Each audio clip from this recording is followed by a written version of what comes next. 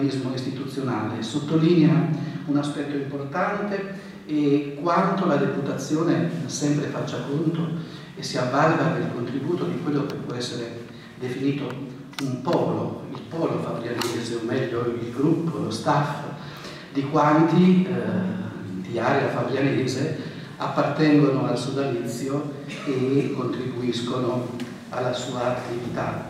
C'è stato in questo, o si può vedere anche in questo, un ruolo del professor Sassi? Io penso di sì.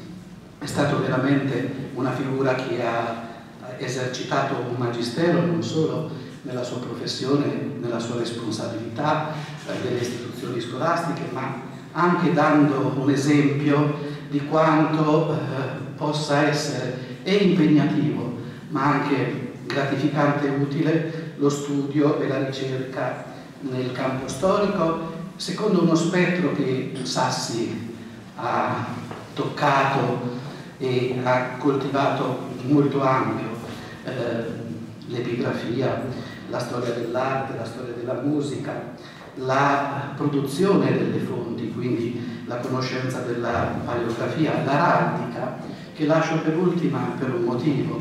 Ecco, sono oltre 150 i titoli, le ricorrenze, eh, delle, dei contributi dati dal professor Sassi alle pubblicazioni della Deputazione di Storia Patria. Stiamo curando gli indici e questi indici ci hanno anche consentito di ritrovare quel testo che ora leggerò e, e quindi un'attività molto intensa, un'opera sommessa, instancabile.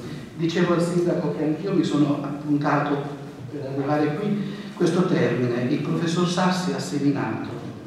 E, e quindi forse questa non è tanto eh, una commemorazione, eh, ma uh, un tributo, un ripensamento ad una lezione che è ancora molto efficace, viva, ancora colloquia il professor Sassi attraverso i suoi scritti con quanti si occupano delle tematiche e della ricerca che se anche locale, soprattutto in alcune parti, eh, diventa una storia che tocca anche le questioni più grandi e eh, nazionali. Perché ho lasciato per ultimo l'Araldica? Perché il professor Sassi mi ha tenuto compagnia in questi ultimi tempi direi nell'ultimo mese, soprattutto tra fine agosto e settembre, quando mi sono trovato a consultare un archivio eh, privato depositato presso la biblioteca planetiana di Iesi, l'archivio Cologgi Vespucci, e inaspettatamente l'ho ritrovato. Eh, uno dei Colocci, Adriano, si è occupato degli attori nel 1931 e Sassi con un contributo per la Deputazione di Storia Patria dell'Umbria, si è occupato degli attoni eh, a Fabriano del ramo Umbro nel 41, l'anno della edizione. E appunto in quelle carte ho ritrovato un carteggio molto fitto tra eh, Colocci e eh, Sassi che discutono di questo, discutono di un'iniziativa, si ritrova il nome di Miliani, si ritrovano molte cose. Quindi credo che ancora ci sia molto da fare e comunque merito di questo convegno dare un nuovo impulso a, questo, a questa attenzione e a queste ricerche. Dicevo, è stato ricordato uno, un personaggio, un protagonista della vita e una colonna della reputazione. Ne dà prova il testo che leggerò e che è, è la trascrizione, riportare una motivazione di un'onorificenza ma anche una cronaca di, un, di una serata che si è tenuta qui a Fabriano. È stata redatta da Arato eh, Palombini, Aroldo Palombini, credo di Cervetodesi. La Deputazione di Storia Patria per le Marche, tramite il suo presidente, senatore Elia, ha consegnato al professor Romualdo Sassi, insigne storico della Regione, le insegne di grande ufficiale dell'Ordine al Merito della Repubblica. La cerimonia della consegna si è svolta nella sala consigliare del municipio di Fabriano, alla presenza del sindaco commendator eh, Sereni, del vescovo Monsignor Tinti, dell'assessore alla pubblica istruzione Avvocato Maggio e delle autorità locali, civili e scolastiche. La deputazione di Storia Patria era rappresentata dal senatore Lia e dai soci professoressa Romagnoli Mondi e dottor Castagnari. Eh, presenziava anche una rappresentanza di studenti del liceo ginnasio di Fabriano, dove per tanti anni ha insegnato il professor Sassi. Il presidente Elia ha rivolto quindi il seguente saluto all'illustre storico. Eccellenza, signor Sindaco, signore e signori, la Deputazione di Storia Patria per le Marche ha verso il professor Romualdo Sassi un grande debito di riconoscenza e di ammirazione veramente sentite.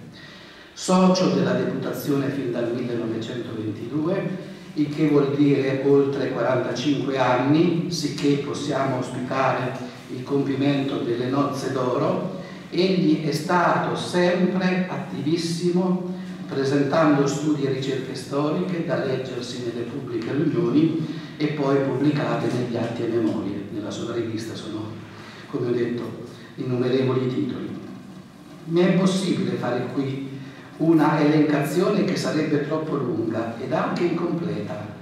Mi piace invece indicare gli studi apparsi nei volumi delle fonti collana della Deputazione, e cioè le pergamene dell'archivio eh, domenicano di Santa Lucia di Fabriano, pubblicato nel volume sesto del 1959, i documenti del soggiorno a Fabriano di Niccolò V e della sua corte nel 1449 e nel 1450, che costituisce il nono volume pubblicato nel 1955 e i documenti chiavelleschi, volume decimo dello stesso anno, ambedue purtroppo esauriti.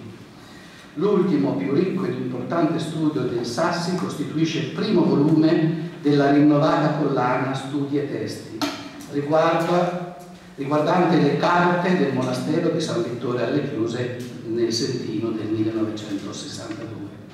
Inoltre, per lunghi anni, prima sotto la presidenza del professor Bonolis, dal 33 al 39 e poi sotto quella del professor Romeo Vuoli fino al 59.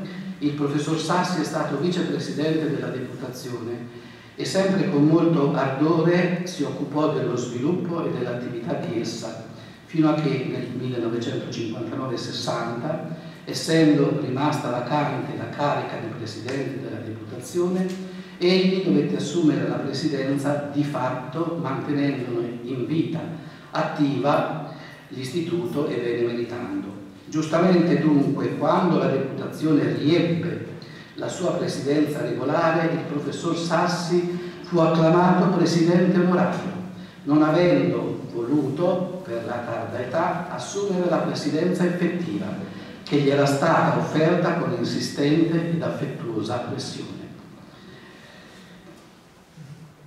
Ecco brevemente ricordate le ragioni di riconoscenza e di plauso della deputazione, ma non posso dimenticare una nota pienamente attuale.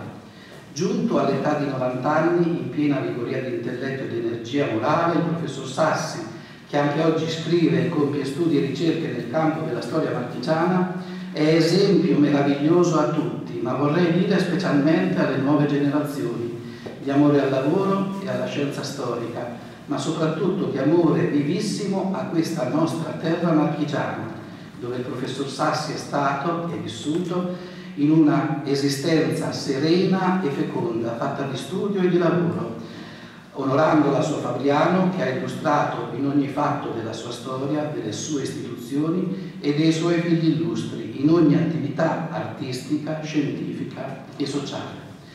Bene ha dunque ad onorare un così nobile esempio di civile, morale e civiltà, virtù, il governo ha voluto decorare il professor Sassi con l'alta insegna di grande ufficiale all'ordine al merito della Repubblica Italiana.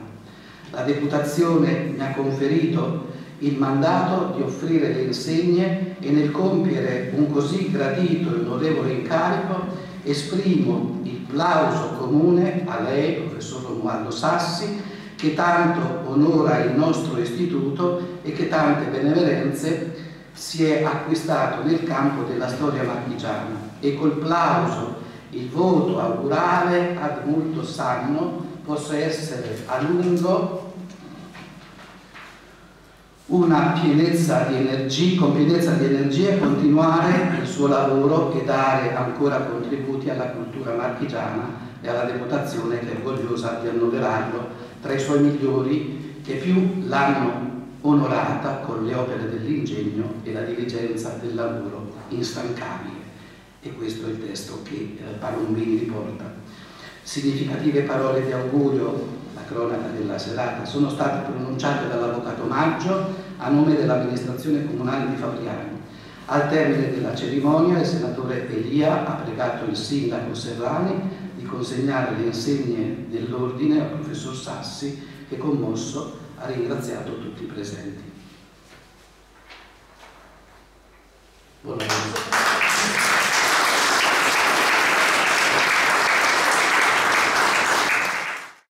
Buonasera a tutti, grazie per avermi invitata.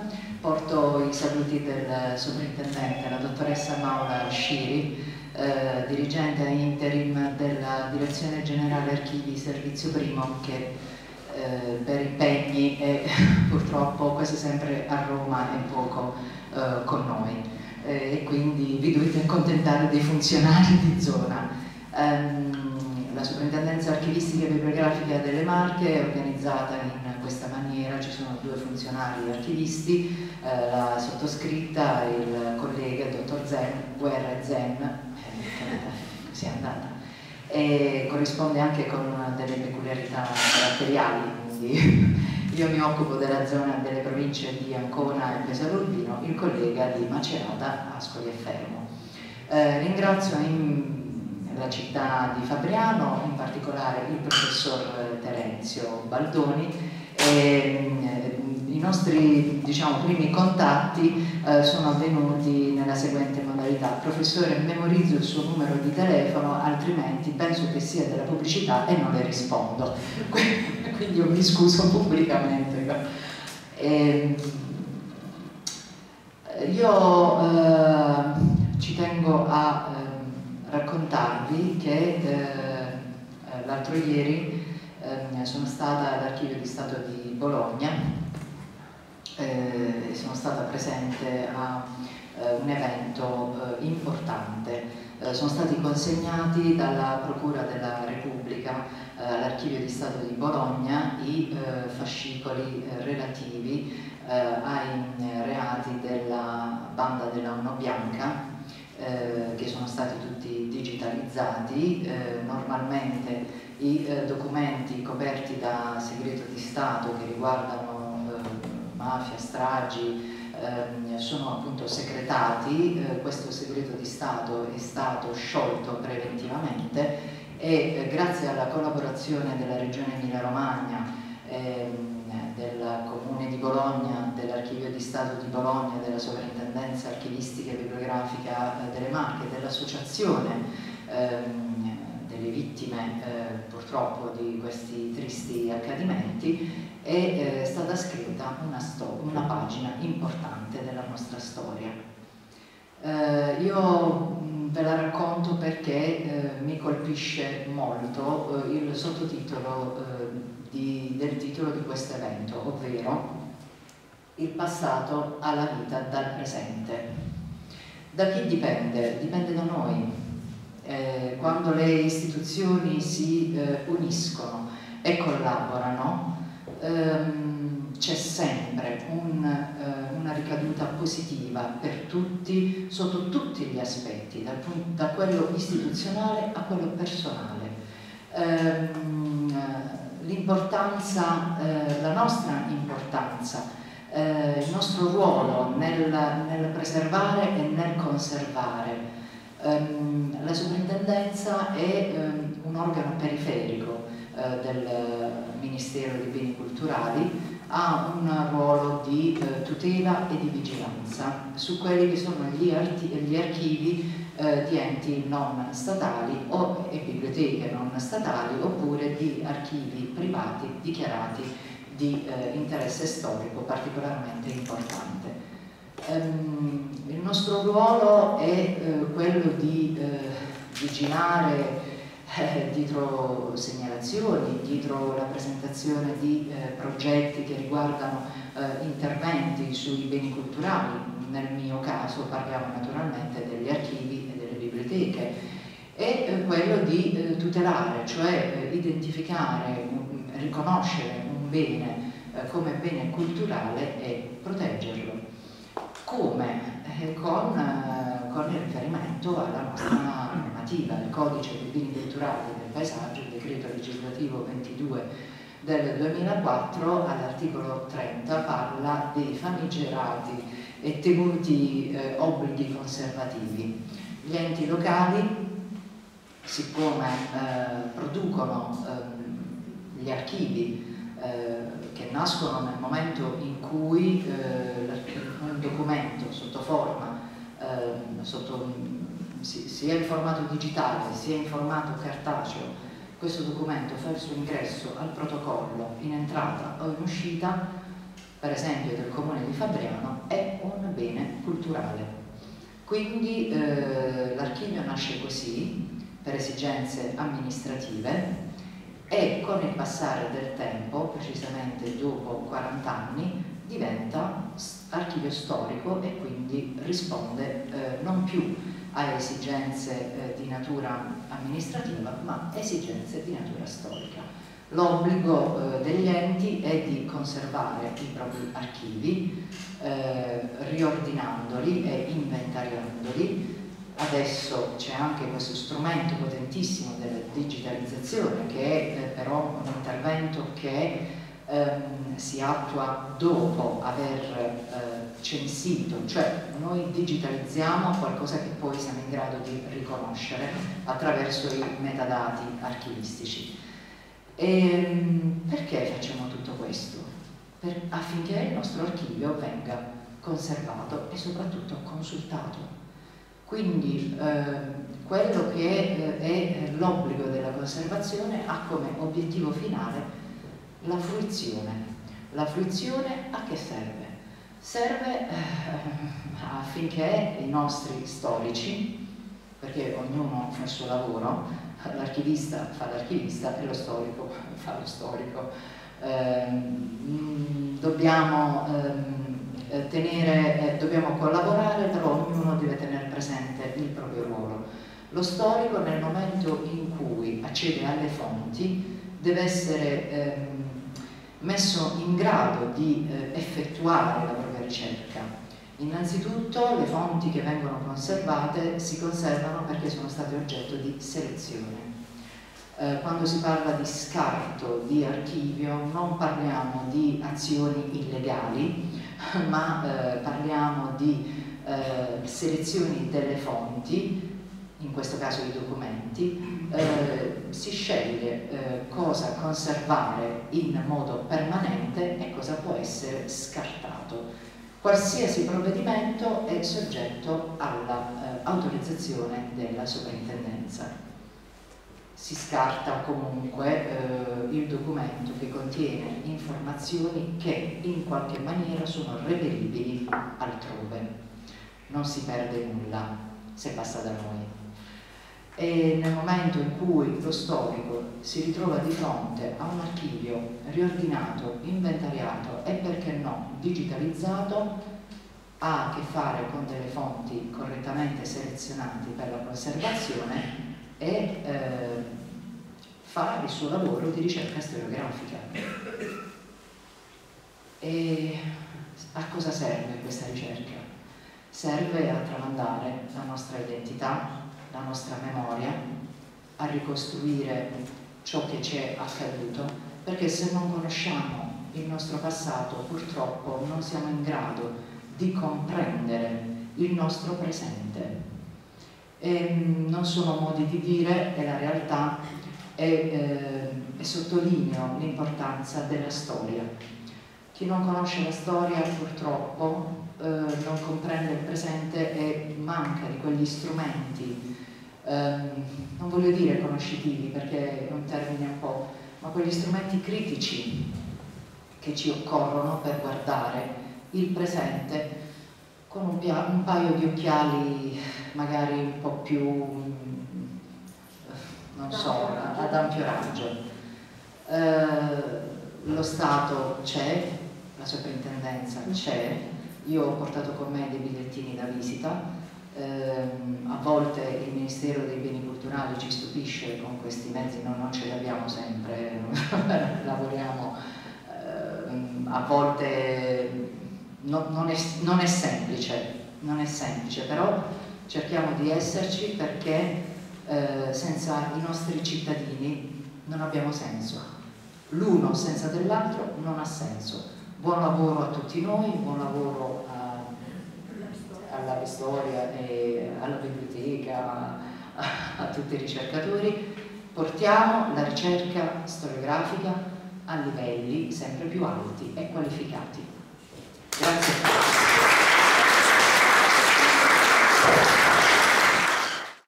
Buonasera a tutti.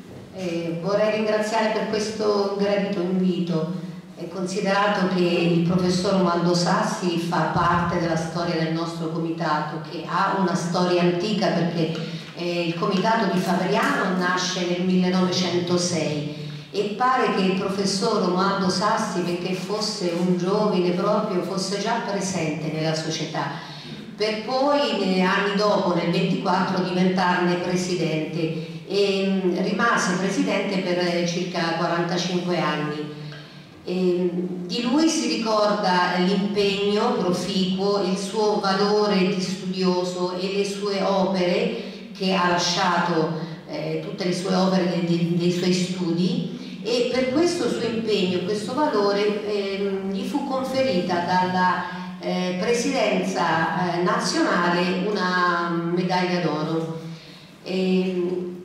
Mio è semplicemente un saluto perché io sono anche qui da curiosa perché sono avida di, di sapere, di conoscere meglio questa figura e sentir parlare di storia locale perché poi la storia in generale nasce da tante storie locali che, che si intrecciano. E volevo cogliere l'occasione per ringraziare, per fare i complimenti anzi a Larga Storia per il lavoro eccellente che svolgono ormai da anni di ricerca preziosa e mi permetto di dire che siete anche molto fortunati perché come mentore eh, avete un'eccellenza che è il dottor Castagnari e quindi ci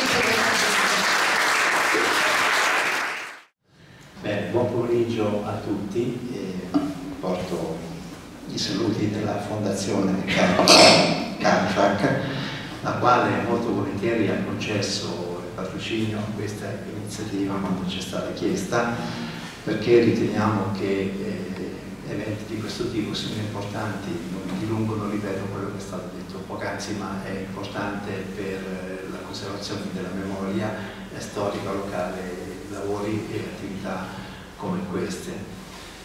Stavo pensando che eh, la mia presenza qui mh, mi ha fornito diverse suggestioni, se posso chiamarle in questa maniera. Eh, stranamente si incrociano tutta una serie di situazioni, perché il primo, come eh, leggiamo nella documentazione, il professor Sassi è stato eh, presidente, vicepresidente e consigliere della Cassa di risparmio. Io non ho controllato la veridicità di questa fonte, però mi fido di loro che l'hanno tirata fuori e la fondazione, pur non essendo più una banca e non essendo più neanche proprietario di una banca, eh, comunque eredita la tradizione storica, culturale della Cassa di risparmio, questo è indubbio e quindi in qualche modo la presenza qui testimonia e riconosce questa partecipazione. Poi non lo sapevo, ho letto nell'EPLA che il professore è stato 50 anni docente al liceo classico, quindi in qualche modo adesso dirigendo il liceo classico trovo un'altra coincidenza e un'altra motivazione per essere qui ricordarlo. Poi curiosamente, apro, chiudo velocemente la parentesi, ho letto 50 anni dico ma l'Inps non esisteva quella volta ancora perché per stare 50 anni nella scuola eh, non so fino a che età ci è rimasto, ma insomma 70 anni oltre penso, insomma. quindi complimenti ecco, anche per la pazienza di esserci rimasto 50 anni. Va bene, quindi questo. Poi altro argomento, l'ho detto all'inizio, professor Bandoni, cioè il lavoro che con la scuola stiamo facendo, quindi questa è un'occasione di studio, di approfondimento e di avvicinamento di giovani a queste tematiche, quindi pienamente rispondenti a quello che facciamo a scuola. E poi infine anche un omaggio doveroso al professore Baldoni con il quale fino a poche settimane, fino a poche settimane fa diciamo, i nostri destini professionali si sono incrociati per un certo numero di anni quindi diciamo, abbiamo collaborato insieme e quindi non potevo non esserci. Quindi per tutti questi motivi sono molto onorato di essere qui e ringrazio per l'invito. Buon lavoro a tutti. Tanto buongiorno a tutti. La giornata di oggi per il nostro laboratorio permanente di ricerca storica rappresenta un momento di gioia, di ansia, ma anche di gioia, perché coloniamo un percorso iniziato al momento della fondazione nel 2015, quando il dottor Giancarlo Castagnari propose a un gruppo di appassionati cultori di storia di vedersi settimanalmente per riflettere sull'importanza di questioni che lo hanno appassionato per tutta la vita, quali il culto del sapere, il valore della storia locale, la ricerca sorretta da un serio metodo storico e dal possesso degli strumenti di indagine, la sistemazione degli archivi pubblici e privati, di cui è profondo conoscitore, la storiografia cittadina e i periodi storici ancora da indagare, cui, di cui parlerà poi nella sua eh, relazione partendo da un motto che lui ci ripete sempre nelle nostre riunioni settimanali. Eh, del francese, eh, lo storico francese Lucien Febvre, lo storico non è colui che sa, è colui che ricerca. Senza perdere mai di vista, ovviamente, come diceva il nostro dirigente, i possibili destinatari dell'impegno di un laboratorio, che sono le giovani generazioni a cui trasmettere l'amore per lo studio e per la ricerca, nell'ottica, come diceva anche la dottoressa Guerra, di prendere coscienza di sé nel ricordo del proprio passato. Se non avessimo perseguito con convinzione e tenacia questi obiettivi, non avremmo mai pubblicato il volume collettaneo che molte copie di questo volume si trovano ancora nella sede della Carifac e speriamo, Presidente, che eh, si dia ampia diffusione a questa pubblicazione. Fabriano 1900-1918 dalla bella epoca giolittiana al fronte interno della Grande Guerra con il patrocinio della Deputazione Storia Patria per le Marche e della Fondazione Carifac di Fabriano. Dopo un'accuratissima e inedita ricerca d'archivio di quattro anni, conclusasi nel novembre 2018 con una bellissima manifestazione a Teatro Gentile, culminata con la produzione del professor Gilberto Piccinini, presidente della deputazione, scomparso recentemente, a cui va il nostro commosso ricordo. Ma non sarebbe stata possibile anche l'istituzione della giornata della ricordanza, approvata all'unanimità nel dicembre 2017 dal Consiglio Comunale di Fabiano, grazie all'impegno del sindaco Gabriele Santarelli e dell'assessore alla cultura Ilaria eh, Benanzoni. Con questa iniziativa, il 2 maggio di ogni anno, la storia accompagna gli studenti delle scuole fabrianesi nei luoghi della memoria della resistenza, al nazifascismo che nel territorio fabianese ha lasciato segni indelebili di morte e di dolore, con l'obiettivo di non far cadere nell'oblio o peggio ancora nell'indifferenza quel periodo storico a causa del tempo che cancella tutto e a causa della scomparsa dei protagonisti.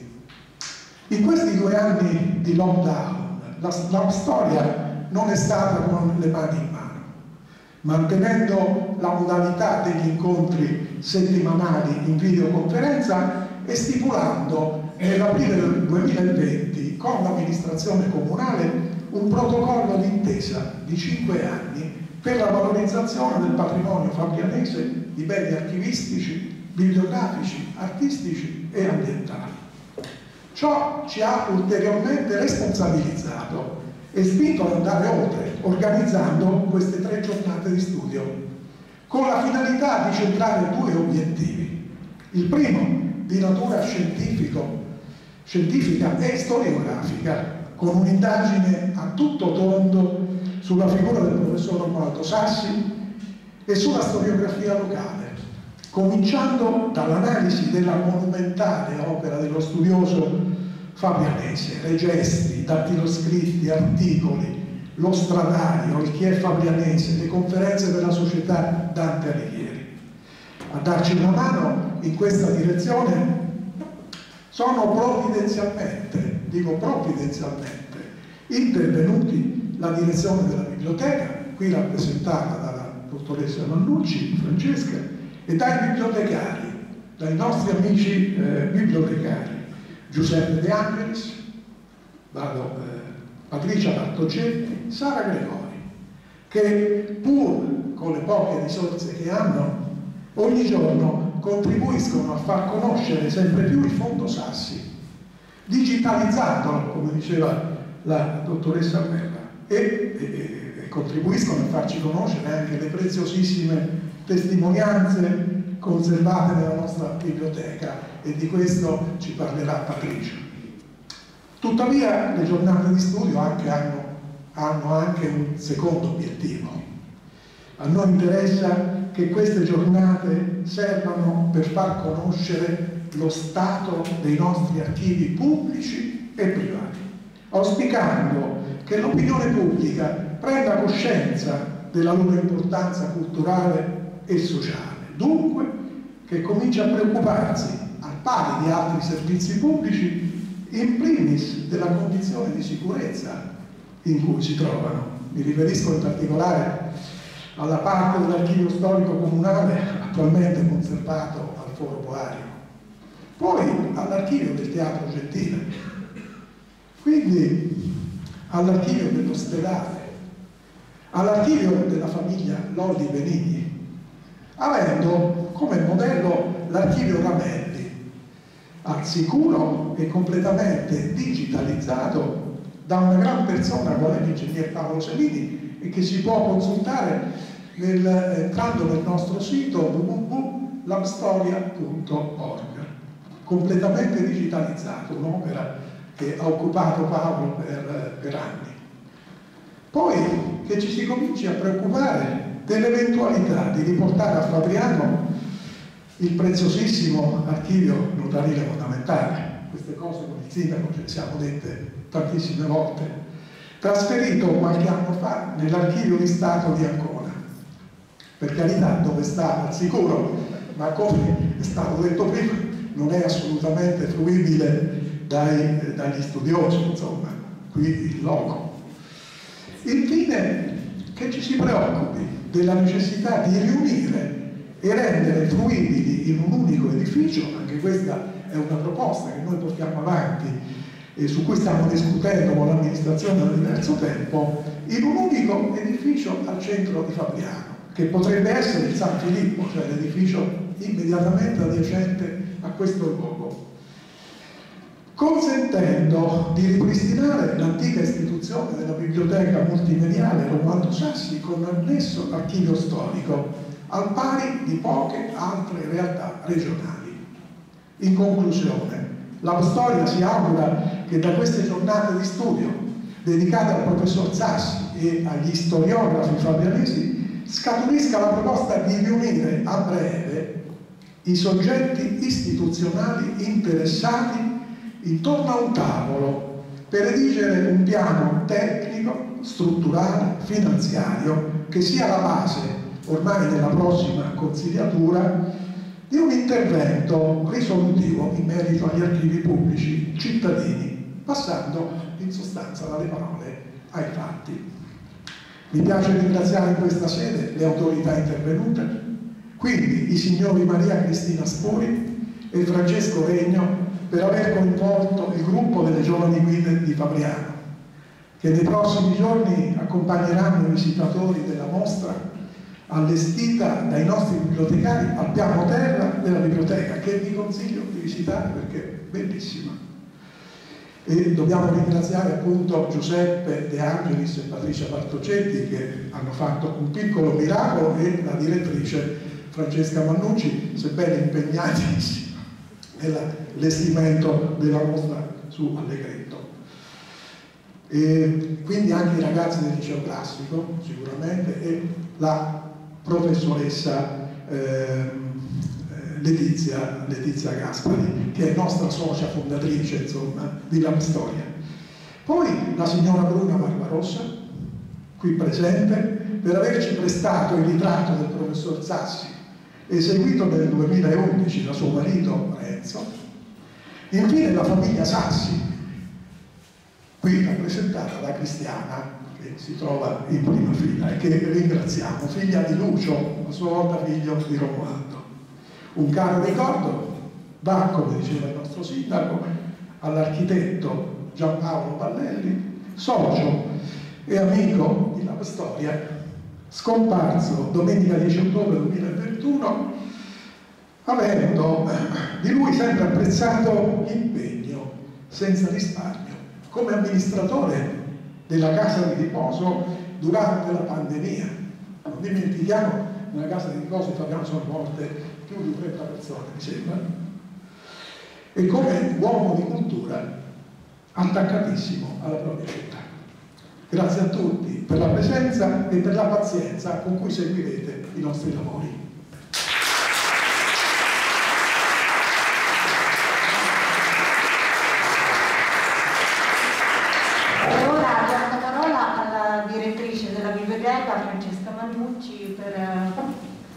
Saluto e anche per ringraziarla per l'ospitalità in questo bellissimo contesto e il lavoro svolto.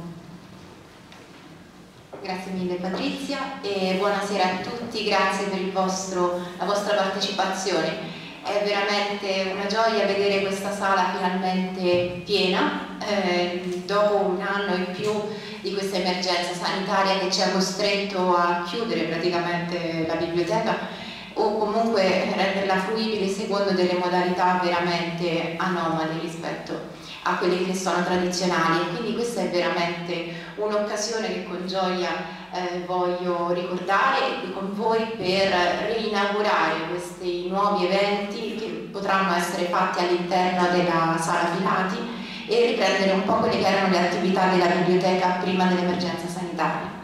Dopodiché questo è un progetto veramente a cui tengo moltissimo. I ringraziamenti li ha fatti praticamente tutti Terenzio eh, levandomi, quindi l'onere e l'onore così da non, da non dimenticare nessuno. Quello che io voglio fare in questa occasione però è ulteriormente ringraziare innanzitutto la storia è stata la mia prima delibera, io da poco ho questo ruolo di direttrice della biblioteca ed è stato proprio questo eh, il, il, protocollo d'intesa fatto con la storia, eh, il primo atto che è andato a sancire la collaborazione tra la biblioteca e delle persone veramente splendide, a partire eh, da Giancarlo Castagnari che io conosco da, da, molto tempo e che ritrovo in questa versione di collaboratore, aiutante, suggeritore, quindi un personaggio, una persona veramente splendida con cui sempre confrontarsi e dal cui confronto eh, siamo sempre mm, usciti arricchiti e, e, ci dà anche delle indicazioni veramente sia operative ma su tutti i fronti veramente preziose. Allo stesso modo di Terenzio Va naturalmente un sincero grazie per la realizzazione di queste giornate, di questi convegni, senza la storia non sarebbe stato assolutamente possibile e ringrazio per la collaborazione perché essendo impegnata anche sull'altro fronte della Pinacoteca non sono sempre riuscita a seguire con tutta la necessaria attenzione ma il loro confronto, supporto e sostegno è stato assolutamente fondamentale. Dopodiché i bibliotecari Giuseppe De Angelis, Patricia Bartolcetti e Sara Gregori i quali si sono profusi veramente con grande, grande impegno, con grande professionalità, oltre, loro, ehm, oltre quello che è il lavoro consueto, si sono veramente impegnati per riuscire a dare a questo convegno e alla mostra che hanno curato una, una bellissima realizzazione e va veramente tutto il mio ringraziamento di cuore per la loro passione con cui portano avanti sempre il lavoro ordinario ma anche quello straordinario come in questa occasione. Il progetto Sassi in realtà nasce proprio all'inizio eh, nel momento in cui l'archivista la, Barbara Zenobi che ora è in pensione e che mh, aveva iniziato a mh, diciamo, realizzare questo primo progetto di raccolta dei documenti è stato poi eh, portato avanti dall'archivista Sara Gregori e poi ha trovato proprio nel bando regionale eh, la possibilità di essere finanziato. I ringraziamenti vanno anche quindi alla Regione che ha veramente eh, colto quello che era il progetto, finanziando, finanziandolo sua, eh, in una sua parte e soprattutto facendogli guadagnare addirittura il primo posto di questa graduatoria. Sono diciamo, dei dettagli che ci fanno capire come la figura di Romualdo Sassi e la sua promozione in, nei vari modi che sono stati declinati è veramente oggetto di grande interesse per la città, per gli studiosi, per gli archivisti, anche per la sovrintendenza che approfitto di ringraziare perché veramente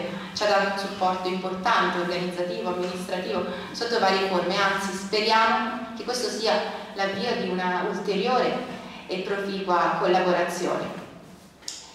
Ringrazio anche il sindaco e l'assessore che oggi non è presente perché in questi progetti ha trovato sempre una sponda di grande collaborazione e interesse, quindi anche a indirizzare e proseguire con queste attività e con queste progettualità. Non mi dilungo oltre, veramente forse se ho ascoltato qualcuno me ne scuso. Ah, una piccola nota eh, anche i dipendenti comunali che comunque pur non essendo qui ci aiutano eh, il mio ufficio, l'ufficio cultura, l'ufficio tecnico in, nella realizzazione di tutti gli aspetti che un convegno, una mostra richiedono. Vi lascio ora agli interventi e vi ringrazio molto per la partecipazione e naturalmente vi aspettiamo anche alla giornata di domani. Grazie.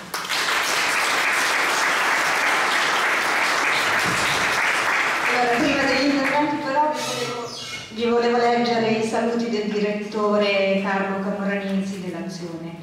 E dice, come direttore dell'Azione abbiamo sempre cercato di dare il giusto spazio ad un personaggio che ha fatto la storia di questo territorio, ha fatto la storia in tutti i sensi, occupandosi della città con rigore e passione, affrontando gli aspetti religiosi, sociali, storico-artistico e dando un notevole contributo anche per lo studio dei fondi antichi della biblioteca e dell'archivio storico di Fabriano. Ci ha lasciato in eredità un'ingente produzione editoriale, in gran parte conservata nella biblioteca comunale a lui intitolata, Occasioni come queste fungono da volano e da stimolo per le stesse nuove generazioni che hanno bisogno di coltivare la memoria di chi li ha preceduti, imparando, seguendo, approfondendo, studiando. Sono uno spunto di crescita, una risorsa di bene per il patrimonio da conservare e tramandare. Proprio l'anno scorso il nostro collaboratore Renato Ciavola ha realizzato il volume Luoghi, Storie e Storie di Fabriano tra parole, illustrazioni e fumetti, mutuato dal grande stradario storico del Sassi, un tentativo di recuperare le sue preziosità, la bellezza della sua fatica, perché attraverso i nomi delle strade, delle piazze, dei palazzi, i segreti sui mestieri, curiosità, folklore, usanze, c'era bisogno dell'uomo di ritrovare una propria identità dentro un'appartenenza forte alle proprie radici. E prossimamente, per celebrare i 110 anni dell'azione, usciremo entro questo mese con una nuova pubblicazione, L'azione nel cuore del territorio, dove attraverso testimonianze, ricordi, aneddoti, troviamo sempre la figura di Romualdo Sassi come un perno insostituibile, una bussola necessaria per orientarsi dentro le vicende di questa terra. Non è tanto un gesto doveroso quanto l'indispensabile collante per capire di più le dinamiche passate della nostra storia, di lui si può dire quanto fu detto di Barrone. Noi eravamo primi stranieri nella nostra stessa città. I tuoi libri ci hanno ricondotto in casa nostra, ricordandoci chi siamo.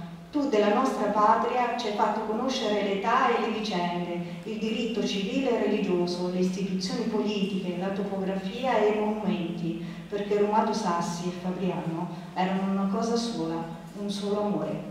per usare invece un'espressione del caro Aldo Brialesi, eh, anche lui socio fondatore della storia, nella sua presentazione del nuovo stradario portato avanti dal nome Bruno Sassi, da nipote Bruno Sassi, scusate.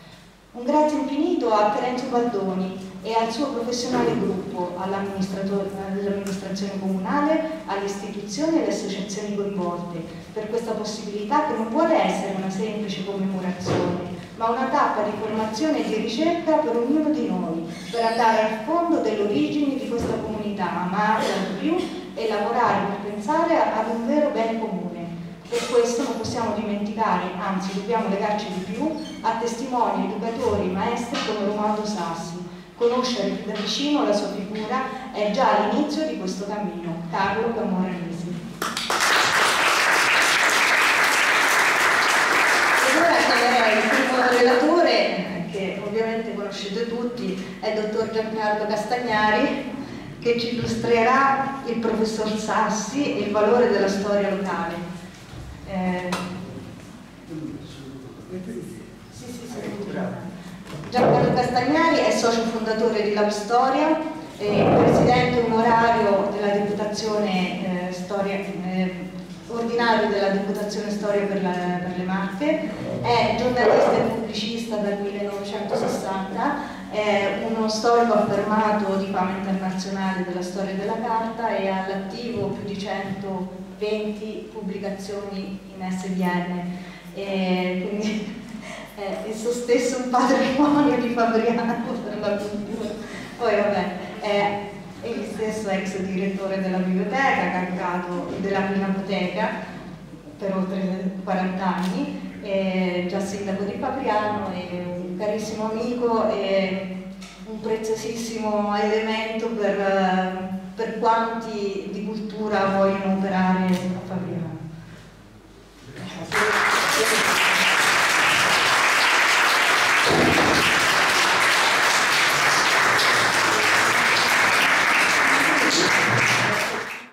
Romualdo Sassi. Romualdo Sassi, storico serio negli intendimenti, esente da ogni dilettantistica improvvisazione, coscienzioso e ponderato nei giudizi su uomini ed eventi, imparziale nell'esame minuzioso e distaccato dei fatti che ricostruisce e prospetta con dati obiettivi, senza pregiudizi, come nel suo stile di uomo e di cittadino, lontano per educazione e temperamento dall'assumere posizioni preconcette e avventate.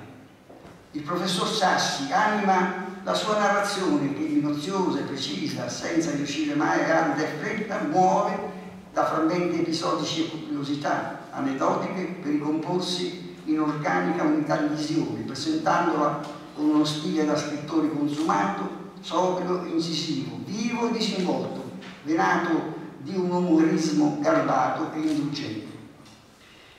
Da questa precisa sintesi emergono le qualità dello storico autore di numerosissime pubblicazioni, e le sue spiccatissime doti di ricercatore, sorretto da una impostazione metodologica, da un sicuro possesso dei mezzi di indagine, da un esame critico, comparativo delle fonti, da una mirabile padronanza dei mezzi grottologici e dall'ausilio di una solidissima preparazione umanistica. Sono questi alcuni giudizi che in parte si leggono nel manifesto che fu fatto effigie dall'amministrazione comunale eh, per una cerimonia da tenersi a Teatro Gentile il 31 dicembre 1958 per la consegna appunto all'illustre cittadino della medaglia d'oro concessa dalla Presidenza Generale della Società Nazionale Dante Alighieri, come già ci ha detto la, la Presidente poc'anzi, violante del Comitato di Fabriano. La civica amministrazione e la Proloco di Fabriano nel 1959 pubblicano lo studio di Giulio Cesare Miranda che traccia il profilo dell'illustre professore e riporta l'immensa bibliografia dei suoi scritti editi e inediti a tutto il 1958. Miranda sostiene che Sassi è tutto nei suoi scritti, uno storico che nella rievocazione dei fatti lontani la piccola storia locale si intreccia e si fonde con quella più vasta della nazione. È nella considerazione del passato che ha vita nel presente che bisogna ricercare la teoria storiografica del Sassi necessaria a dare unità a tutta la sua imponente ricerca. Enrico Liburdi, già segretario della Deputazione di Storia Patria per le Marche, asserì che la produzione storiografica di Sassi supera per numero e importanza l'apporto dato dai maggiori storici locali alla conoscenza della storia di Fabriano.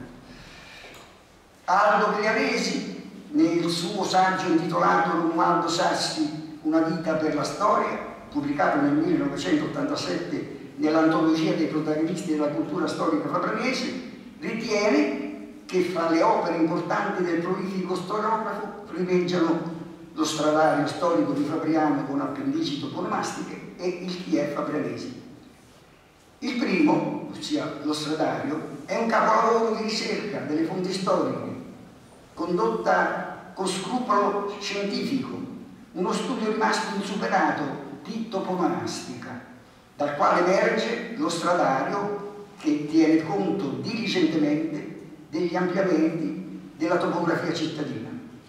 Il che è spiega Sassi, è un repertorio biografico dei fabrianesi che dai tempi più lontani, al 1957, si distinsero nei vari rami dell'attività umana, occupando uffici pubblici o in patria o fuori, dedicandosi alle lettere, alle arti, alle scienze, facendosi onore e sacrificando la vita sui campi di battaglia, acquistando, insomma, una qualche notorietà diffusa da pubblicazioni o altrimenti attestata. Il pregio di quest'opera, il che consiste nell'aver aggiunto a ciascun nome, dopo i dati biografici essenziali, un richiamo bibliografico per assumere meglio più ampie notizie collegandolo alla bibliografia generale della trattazione. Nell'ampio elenco delle opere consultate sono citati anche 172 saggi monografici dello stesso Sassi. Nelle tre edizioni della insuperabile vita artistica di Fabiano del professor Bruno Moraioli, pubblicate rispettivamente nel 1936, nel 1968 e nel 1900, è stato inserito anche il sommario storico scritto da, dal Sassi e presentato da Giovanni Battista Migliani per dire che l'autore sa tutto quello che si può sapere delle origini di Fabiano e delle sue vicende, che con una ininterrotta serie di progevolissime memorie e di monografie ha illustrato gli avvenimenti più notevoli e gettato sarà raggi di luce sui punti più oscuri ne ha quindi riassunto la storia in una sintesi quanto mai chiara ed ordinata. Una lucidissima narrazione valida per scrivere una più ampia ed esauriente storia di Fabriano. Miranda ad un certo momento presume, poi e lo dice, che Sassi non abbia voluto affrontare di proposito un tale impegnativo lavoro, perché in fondo, e qui è curioso, il nostro cittadino, ossia Sassi, è di quelli che preferiscono l'impingolo al polpettone. Lo stesso Sassi, rivolgendosi commosso a tutti coloro che lo avevano voluto onorare durante la cerimonia del 1958, aggiunse ai ringraziamenti anche l'espressione di un desiderio e si espresse così in questi termini. Io, Sassi, considero me stesso quando ripenso a ciò che ho fatto, come un artefice che abbia preparato con cura il materiale, pietre, mattoni, travi, anche cemento, per la costruzione tutto questo di un edificio, scegliendolo di buona qualità, ma non abbia voluto o saputo condurlo a compimento. L'edificio è, come appunto lui dice e come intendeva che avessero capito anche chi lo ascoltava, una storia ampia, documentata, moderna di Fabriano. Il mio, continua Sassi, desiderio che non sarà certo appagato né vivo, è questo che un mio futuro, se non presente concittadino, voglia accingersi a quest'opera che da molti anni è stata ed è richiesta a me stesso.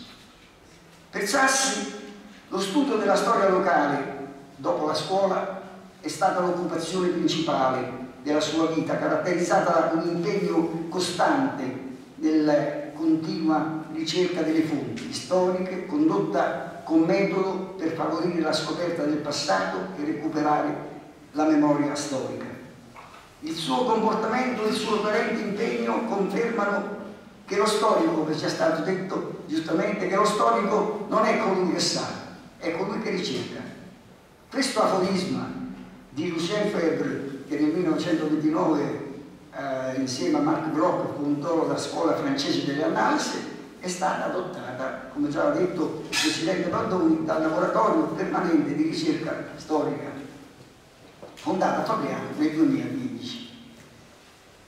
Il Sasso professore ha insegnato con il suo comportamento e il suo impegno di studioso l'euristica, ossia l'arte e la tecnica della ricerca storica e il metodo per acquisire nuove conoscenze. Per la sua articolata e immensa storiografia era ed è il principale storico locale di riferimento, famoso negli ambienti accademici, culturali, delle Marche e nazionali. Un altro esempio euristico del Sassi è la raccolta delle copie dattiloscritte conservate dal 1963 nella biblioteca multimediale di Fabriano, conservati 200 articoli vari sui santi venerati a Fabriano, pubblicati in questi articoli in vari periodici quotidiani e, ed altre riviste. Nell'indice alfabetico allegato alla raccolta vengono riportate 141 voci relative ai nomi dei santi, dei beati, dei venerati e dei culti dedicati alla Madonna. Un altro elenco riporta i nomi con brevi notizie storiobiografiche dei religiosi divisi secondo l'ordine religioso di appartenenza. Il Sassi però non ha voluto fornire una semplice raccolta di agiografie, non si è limitato a presentare le figure dei santi beati illustrandone soltanto la vita e le opere, ma ha descritto anche il culto religioso, le tradizioni locali ad essi legate, le feste religiose e civili, con i suoi canti sacri, con note di colore, con aspetti di folklore fabrianese che mettono bene in risalto il costume, le tradizioni, le usanze e i sentimenti di una popolazione di fedeli. Sassi Fu un cattolico coerente e militante, socio attivo della Società San Vincenzo de Paoli. Si prodigò sempre per aiutare i bisognosi dei suoi concittadini. Religioso rigoroso e osservante, fino al punto di giudicare blasfema la dedica scolpita nella lapide in onore del martire spagnolo Francisco Ferrer, collocata in piazza del comune al lato del loggiato San Francesco, che esprime diciamo, un audace pensiero libertario e dice Ferrer amò la giustizia, insegnò il vero e perciò morì come Socrate e Cristo. All'inizio del XX secolo a Fabiano si comincia a recepire il valore della storia locale e a rivalutare la storiografia germogliata dalle opere di studiosi e cronisti dei secoli precedenti. Negli anni 20 del Novecento, per iniziativa di Costantino Benigni Olivieri, Romualdo Sassi, Nestro Zatilli, Onofrio Angelelli ed altri esponenti della cultura locale, sorge la Società Editoriale Fabrianese, che programma di stampare le opere di alcuni illustri scrittori di storia. Contemporaneamente, per iniziativa di alcuni soci della Deputazione di Storia Patria per Marche, nasce la Società di Cultura Storica Fabrianese, presieduta da Luigi Nicoletti, che nella prima adunanza del 22 aprile 1923 espose il programma della sua istituzione e dice e se lo storico deve farsi far rivivere i tempi che furono, primo compito della nostra società deve essere quello di far sì che nulla di quanto testimonia il passato vada perduto. Facendo poi riferimento agli archivi storici, preziosi serbatori della memoria, tende a precisare che bisogna promuovere l'ordinamento di tutti quegli archivi che ci interessano e assicurare che nessun documento possa andare perduto. Questa società, ahimè purtroppo, come ci informa lo stesso Sassi, morì prima di nascere e non si conoscono i motivi che hanno determinato la fine di una così pregevole iniziativa. Gli autori della storiografia locale si intrecciano e si intravedono nell'opera di Giovanni Domenico Scevolini, che nel 1559 scrisse Le storie di Fabriano, opera poi pubblicata da Giuseppe Colucci nel XVII volume di Antichità Piceni. Secondo Sassi, lo Scevolini fu considerato per lungo tempo la più autorevole fonte della storia locale. Tuttavia, anche se non fu sempre scrupoloso nell'uso delle fonti e dei documenti, molti eruditi e storiografi dei secoli successivi, XVII e XVIII, si giovarono molto della sua opera.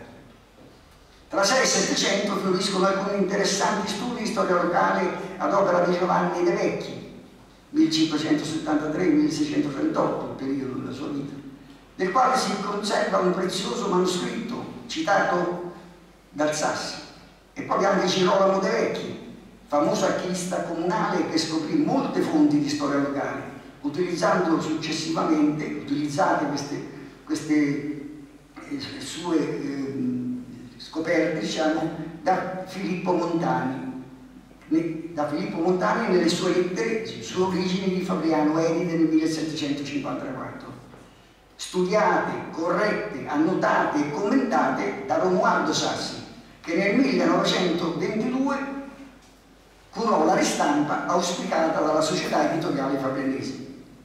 In quello stesso periodo si distinsero per le loro ricerche e le loro opere una schiera di eruditi che rispondono ai nomi ormai noti di Giovanni Antonio Caldori, a suo nipote Carlo Caldori, Francesco Maria Nicolini che si occupò della storia di Collamato, Ambrogio Grassetti Francesco Graziosi con i suoi 14 volumi di notizie storiche, Costanzo Gini e Silvestro Guerrieri, autori di un manoscritto inedito di storia fabrianese.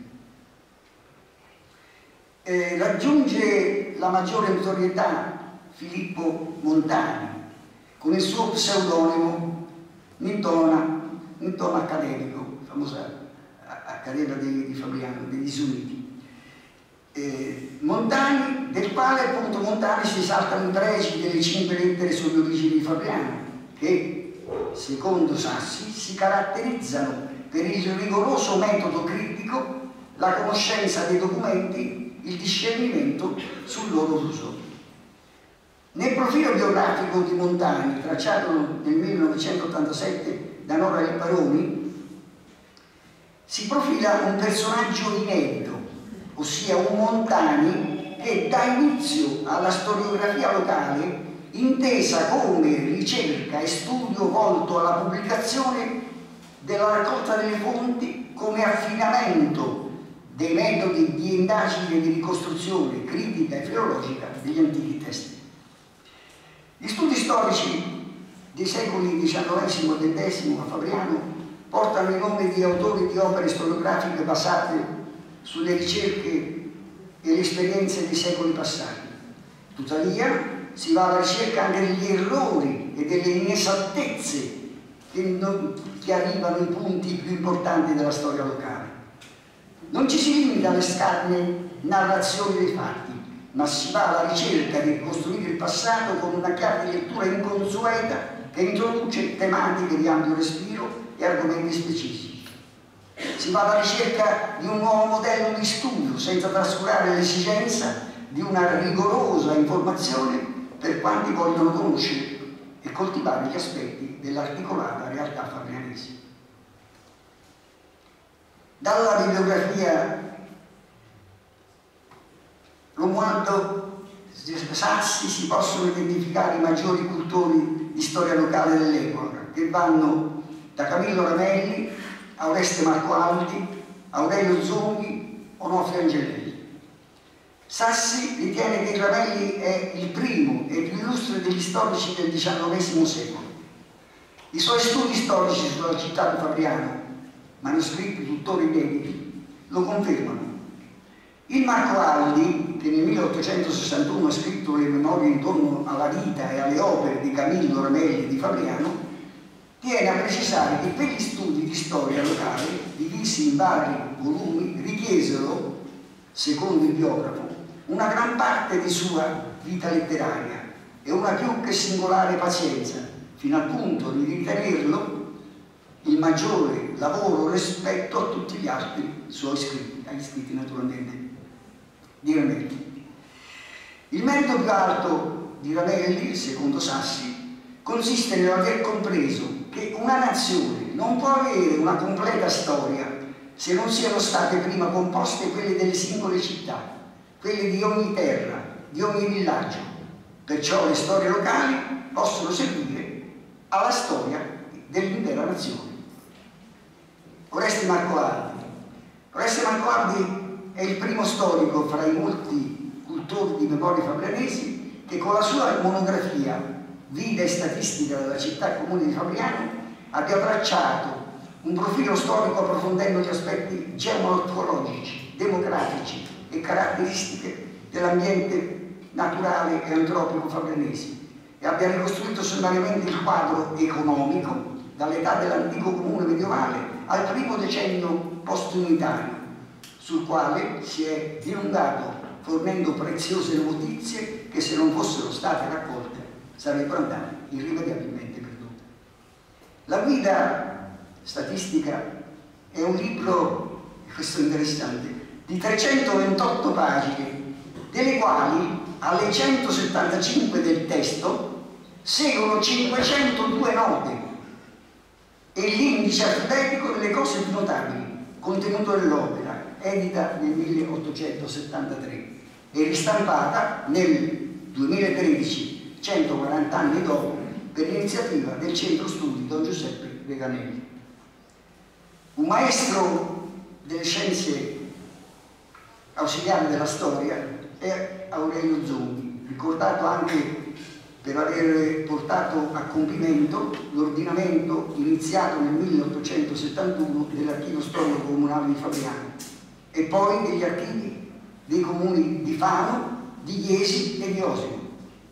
Il suo biografo, Ivo Pagliarini, ha accertato che lo Zonghi aveva assai vivo il senso della storia, soprattutto medievale, cui lo volgevano i suoi studi paleografici. Aveva capito benissimo quanto possa essere importante, sempre ai fini della storia, l'archivio che, nato con finalità amministrative, finisce per diventare storico, ovvero fonte di informazioni primarie e fondamentale bene quindi culturale. Un consistente contributo alla diplomatica e alla storia medievale di Aurelio Zonghi portò la pubblicazione delle carte diplomatiche fabrianesi raccolte e ordinate nel 1872. Aurelio Zonghi è anche però un eh, figlio filigranologo di fama internazionale che strinse insieme al fratello Augusto rapporti di collaborazione e amicizia con Charles Louis Briquet che della filigranologia fece una scienza ausiliare della storia. I primi e quasi unici studi del periodo francese a Fabriano, dal 1788 al 1799, e studi del risorgimento si debbono al rigoroso lavoro di ricerca di Amofio Angelelli, lo storiografo, l'erudito operaio scrittore che, secondo Sassi, si distingue per l'ardente portato riscaldatosi alla fiamma del risorgimento. Il suo lavoro più organico è l'industria della carta e la famiglia Miliano Fabriano, una monografia storica su documenti inediti stampata per volontà di Giambattista Miliani nel 1930, ricorrendo il 150 anniversario della fondazione della famosa ditta Pietro Miliani. Per coloro che intraprendono lo studio della storia locale del XIX secolo, la monografia di Genelli intitolata Il contributo fabrianese nelle cospirazioni e nelle guerre del risorgimento italiano dal 1808 al 1918, edita nel 1937, è un punto di riferimento per conoscere come Fabriano viveva gli importanti avvenimenti di quel periodo, ma è anche un esemplare modello di ricerca delle fonti documentarie e, lasciatemelo dire, un, un riuscito esperimento di oral history. Per le sue opere e i suoi studi, Onofrio Angelelli fu nominato socio corrispondente della Deputazione di Storia Patria per le Marche e socio dell'Istituto Nazionale per gli Studi della Storia del Risorgimento. Nella prefazione della sua principale opera Storia di Fabiano dalle origini all'alba del terzo millennio, pubblicata nel 2004, dal Marzo Pilati manifestò di aver fatto tesoro del ricchissimo materiale sparso recuperato nei saggi e nelle monografie degli storici locali. Di Romualdo Sassi raccoglie e gli dice il testimone, seppur con il temore di esserne degno, lo accolse per rielaborare il tutto in modo personale, di coordinarlo, di sistemarlo, fino a dargli l'aspetto di un'accettabile costruzione per offrire al lettore una visione esauriente di ciò che riguarda l'origine e lo sviluppo della storia di Fabriano. La tematica di Pilati è vasta e variegata, spazia nel passato fabrianese e identifica fonti documentarie e bibliografiche che sono autentiche scoperte fornisce notizie inedite, ricostruisce incisivamente la realtà del passato e recupera frammentariamente notizie integrandole con preziosi aggiornamenti frutto di pazienti e accurate scelte. Per rendere omaggio all'opera del fecondo politico e storiografo, la reputazione di Storia Patria per le Marche, di cui Pilati era socio corrispondente, pubblicò nel numero 108 di Arte e Memorie i titoli dei suoi principali scritti in coda al pubblicato necrologico. Nella seconda metà del secolo scorso la storia locale riceve influssi e impulsi che presumono nuovi indirizzi di studio provenienti da altre discipline, in particolare dalla sociologia e dall'economia, anche a Fabriano lo sviluppo economico influisce nella cultura per promuovere nuovi studi seguendo metodi indirizzi che rispondono alle esigenze della storiografia moderna. Alcuni saggi pubblicati negli atti e memorie della Deputazione di Storia Patria per il Marche puntualizzano aspetti sociali ed economici inediti dell'area appenninica fabrenese che hanno riscosso l'incoraggiamento e l'apprezzamento di alcuni cultori studiosi marchigiani delle discipline storiche. Sintomatica la pubblicazione nel 1982 dell'opera collettanea La città della carta, ambiente, società cultura nella storia di Fabriano, che con la stampa della seconda edizione del 1986 ha raggiunto le 5.000 copie. Recentemente Jean-Claude Vuguer, penso che si pronunci così, nella presentazione della monografia Fabriano in età comunale, nascita e affermazione di una città manifatturiera, del professor Francesco Pirani, edita nel 2003, fa notare che negli ultimi vent'anni l'attenzione degli studiosi si è concentrata sui settori della produzione degli scambi, incoraggiata in tal senso da una serie di iniziative volte a ricordare il ruolo di Fabriano nella diffusione della carta occidentale e più generalmente a riportare alla luce le principali manifestazioni di un dinamismo economico che indubbiamente appare nel centro specialmente superiore a quello di molti altri centri delle Marche. A sua volta l'autore Francesco Pirani, dopo aver sottolineato che Romualdo Sassi ha lasciato una vastissima bibliografia relativa ai vari periodi ed episodi della storia fabrianese frutto di una continua e accurata ricerca e valorizzazione delle fonti documentari, fa notare che il taglio tematico della narrazione storica costituisce una delle caratteristiche di questo tipo di ricerca, mossa costantemente da un ritrovamento o comunque da un'emergenza di tipo archivistico piuttosto che da una problematica storica. Inoltre Pilani precisa che dagli studi più recenti prodotti a Fabriano emerso con chiarezza un orientamento teso a coniugare il dato economico con quello istituzionale.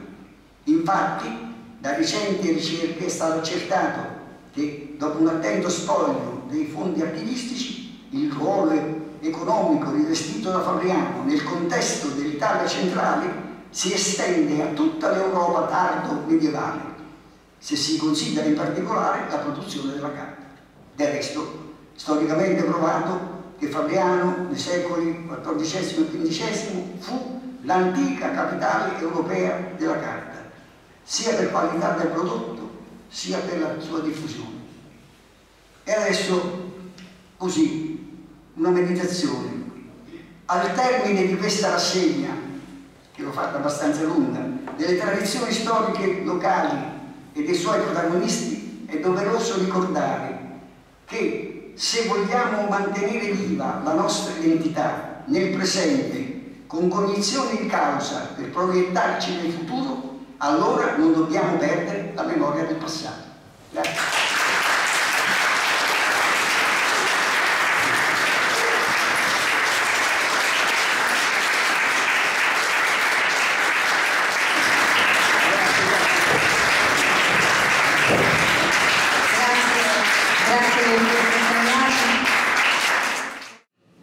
Buonasera, lasciatemi inizialmente tradire un po' di emozione sul rivedere la biblioteca di nuovo piena e di nuovo viva, come diceva la dottoressa Guerra poco fa, questi sono momenti, come diceva anche giustamente la direttrice Francesca Mannucci, abbiamo vissuto il vuoto, quella che per me e i miei colleghi è la nostra seconda casa, immaginate un genitore che torna a casa e non trova mai figli, parliamo una famiglia numerosa.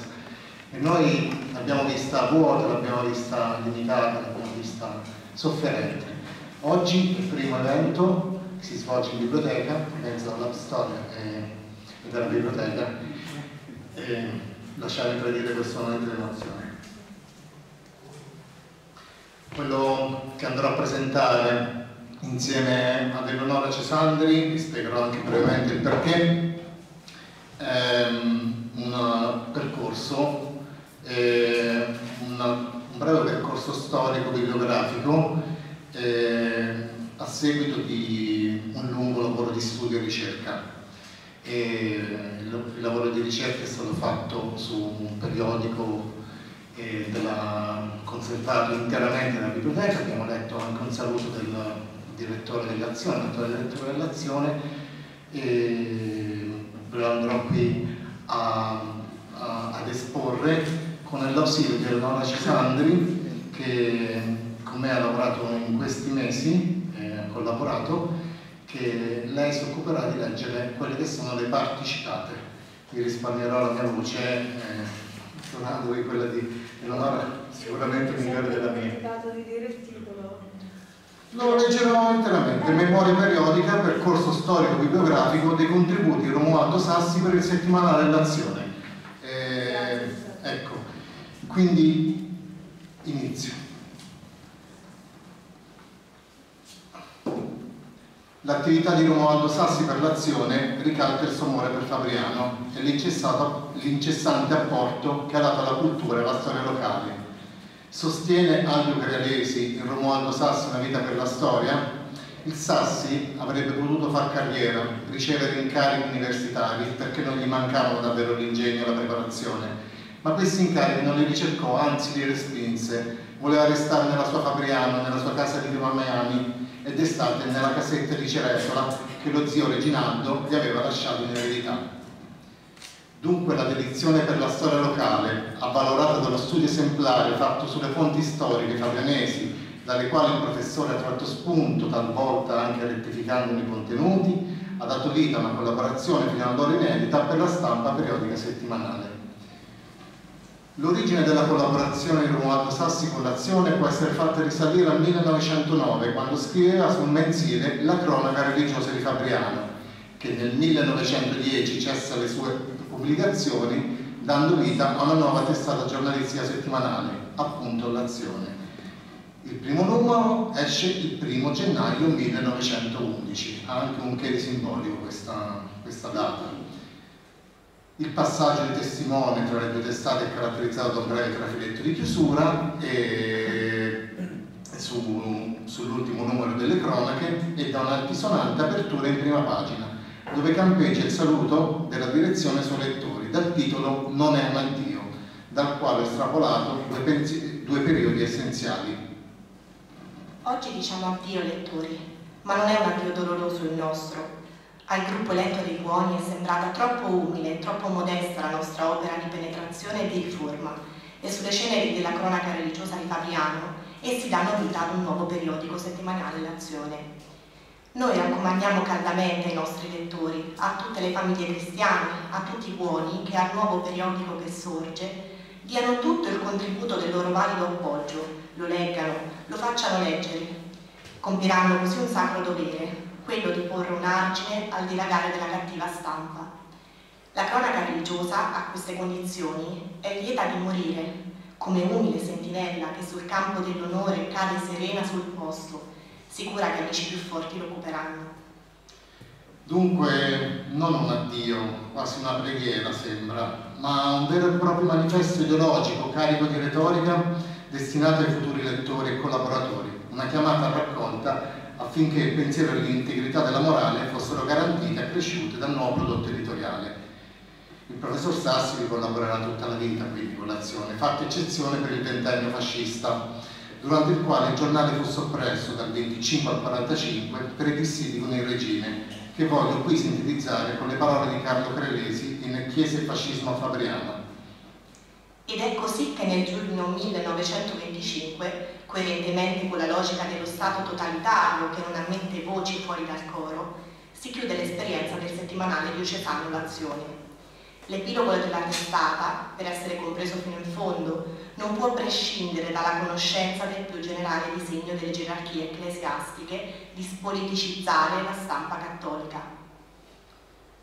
L'attività del parroco antifascista Don Bargagnati, l'omicidio squadrista di Don Giovanni Minzone, l'aggressione al cattolico Lamberto Corsi da parte dello squadrista fabrenese Duilio Spacca, passando per l'omicidio Matteotti per la levata di scudi del giornale che, dopo un'iniziale denuncia soft, pubblica pesanti critiche settimanali all'indirizzo del regime.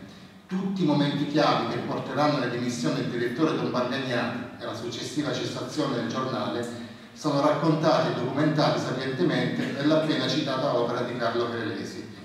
Ma torniamo a Romualdo Sassi e al suo legame con i settimanali fabianesi.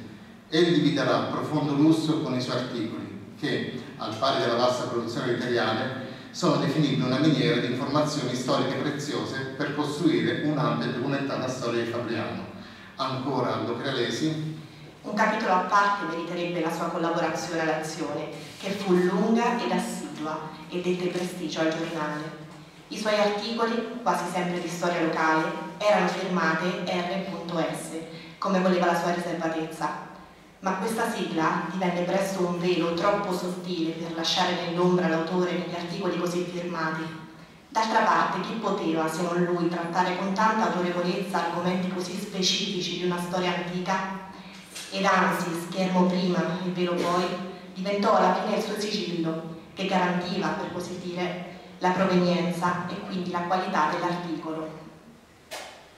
Voglio aprire una parentesi su Aldo Crealesi che lo ricordo con un affetto quando veniva in biblioteca di Burgo sui faldoni dell'azione, assorto per ore e, e riprende il mio discorso. Questi scritti del Sassi sono stati oggetti di un lungo lavoro di ricerca da parte della Biblioteca Comunale di Fabriano, che conserva tutte le annate dell'azione dal 1911 a oggi sono 490 gli articoli per settimanale attribuiti con certezza al professore, oggi raggruppati in una bibliografia completa. Doveroso a questo punto parlare del lavoro svolto qui da noi in biblioteca, che nel corso del 2021 ha dato avvio a un lavoro di valorizzazione della raccolta di periodici che conserva nelle proprie collezioni. Un progetto biblioteconomico-bibliografico incentrato sulla collaborazione tra il professore e l'azione, che si è sviluppato in diverse fasi. La prima, preliminare, catalogazione e fascicolazione delle annate, con l'inserimento delle stesse all'interno delle banche dati online del Servizio Bibliotecario Nazionale. La seconda, di ricerca, individuazione degli articoli firmati da Ronaldo Sassi e prima riproduzione digitale degli stessi. La terza, dello spoglio periodico, catalogazione degli articoli, ognuno legato alla propria annata e al relativo fascicolo settimanale, seguendo i principi degli standard internazionali per la descrizione bibliografica. La quarta e ultima bibliografica prende spunto dal catalogo della biblioteca e partendo da questo catalogo ormai completo de, degli articoli dello spoglio periodico, degli articoli del Sassi per l'azione, si è proceduto alla trasformazione dei titoli analitici in una bibliografia completa dei suoi contributi, per il settimanale in rigoroso ordine cronologico. Eh, appena sarà, l'avrò finita di curare i minimi aspetti, mh, la metterò a disposizione del pubblico. Ho seguito e curato personalmente questo lavoro, avvalendomi della preziosa collaborazione dell'operatore culturale Andrea Poeta nella fase di ricerca e della dottoressa Eleonora Cesandi in quella di catalogazione spoglio, che voglio qui pubblicamente ringraziare entrambi. Dallo studio della biografia emerge come le tematiche affrontate coprono un ampio spettro di discipline, archeologia, artigianato, bibliografia, fabrianese, culto mariano, curiosità d'archivio, etimologie, folklore, letterati fabrianesi, linguistica, monumenti, onomastica locale, storia antica di Fabriano, storia ecclesiastica, storia dell'arte, storia militare, per concludere la, la sua famigerata toponomastica e urbanistica, ricche di spunti interessanti, sono anche alcune rubriche più o meno lunghe che vi desserò brevemente. Briciole toponomastiche, tre articoli pubblicati nel 1915 su alcuni toponimi del territorio, fatti d'arme fabrianesi, tre articoli pubblicati nel 1916 sulla conquista del castello della Genga, fabrianesi illustri nelle armi, sette articoli pubblicati tra il 16 e il 17, tre dei quali dedicati alla più importante famiglia della storia fabrianese, Chiavelli.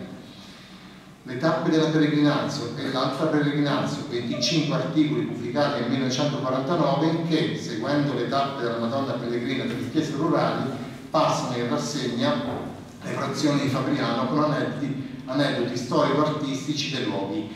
Apro la parentesi che nel giornale è proprio evidente come la redazione curasse tutti gli aspetti religiosi di questa tappa della le tappe della Madonna Pellegrina, mentre il Sassi ne cura proprio gli aspetti storico-artistici.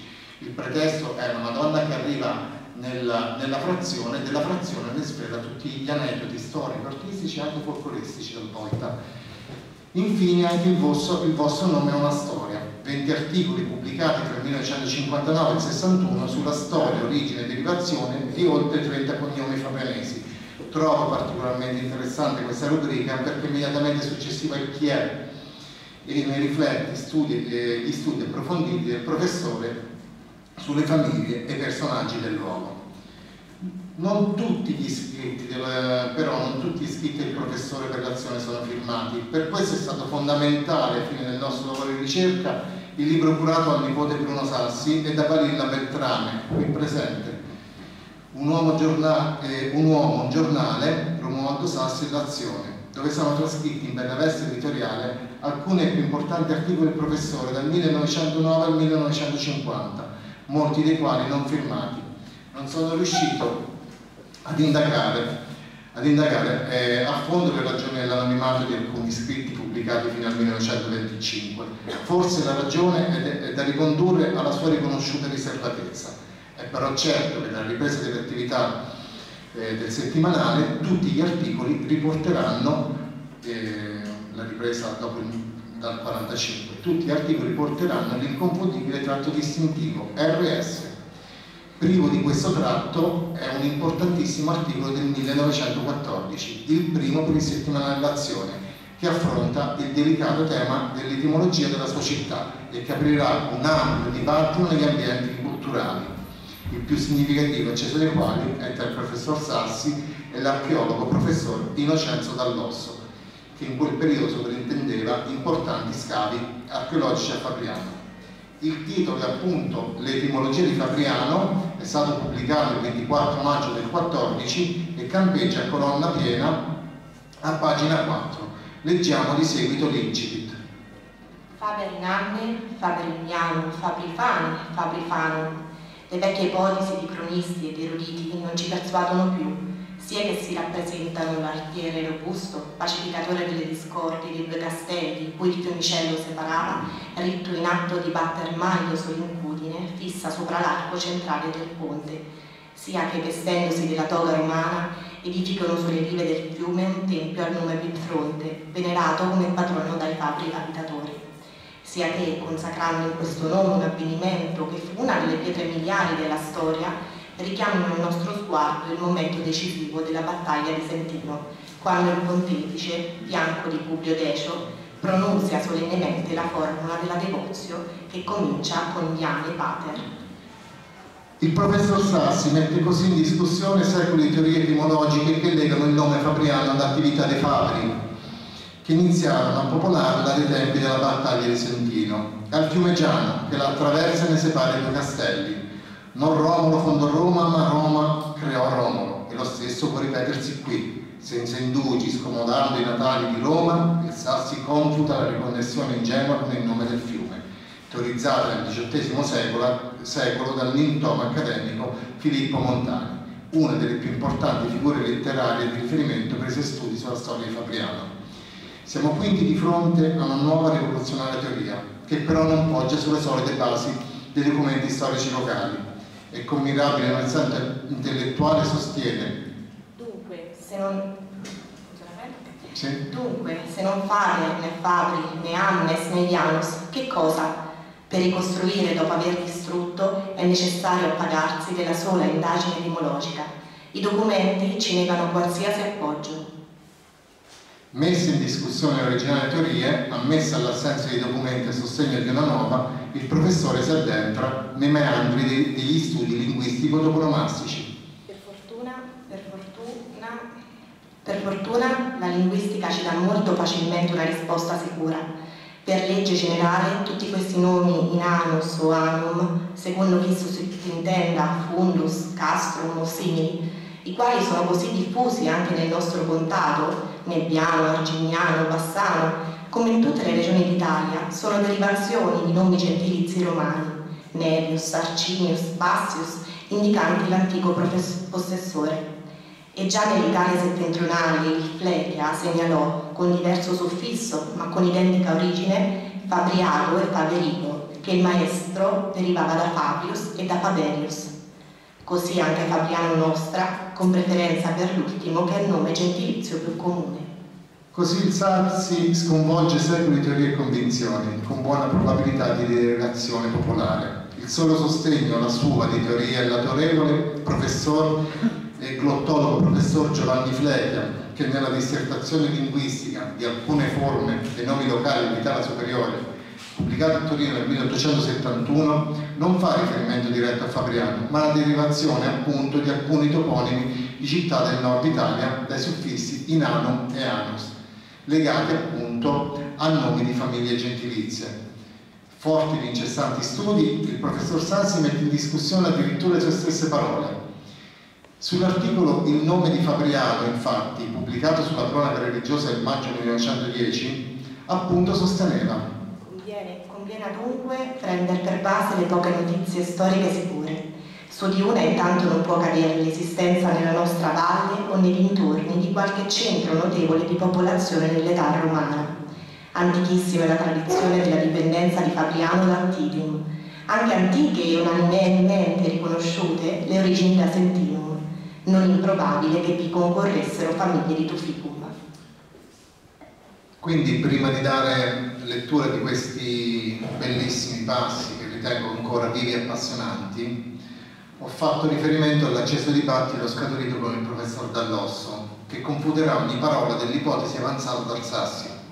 Sono stato a lungo tentato di evidenziare gli aspetti più interessanti, ma la mia curiosità in questa affascinante ricerca ha dovuto far, posta, far posto alla mia natura di bibliotecario.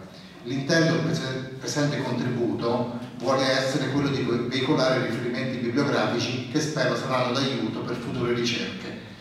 Perciò mi limiterò ad indicare gli articoli dove il famoso dibattito si accese. Il 25 luglio del 1915 l'azione pubblica un articolo al titolo Nuove importanti scavi in territorio fabriano basato sugli studi di Dall'Osso. Sempre sugli stessi studi è basato l'articolo I nuovi scavi presso Fabriano, pubblicato il 1 agosto 1915, al quale farà seguito l'8 agosto un, un approfondimento ancora in relazione sull'ipotesi etimologica del Sassi. Seguiranno tanti altri capitoli, il 15 e 22 agosto, 5 e 12 settembre dello stesso anno, con una serie di lettere aperte che il giornale pubblicherà con il classico titolo Riceviamo e pubblichiamo. La polemica tra i due si svolge anche sulla cronaca nazionale.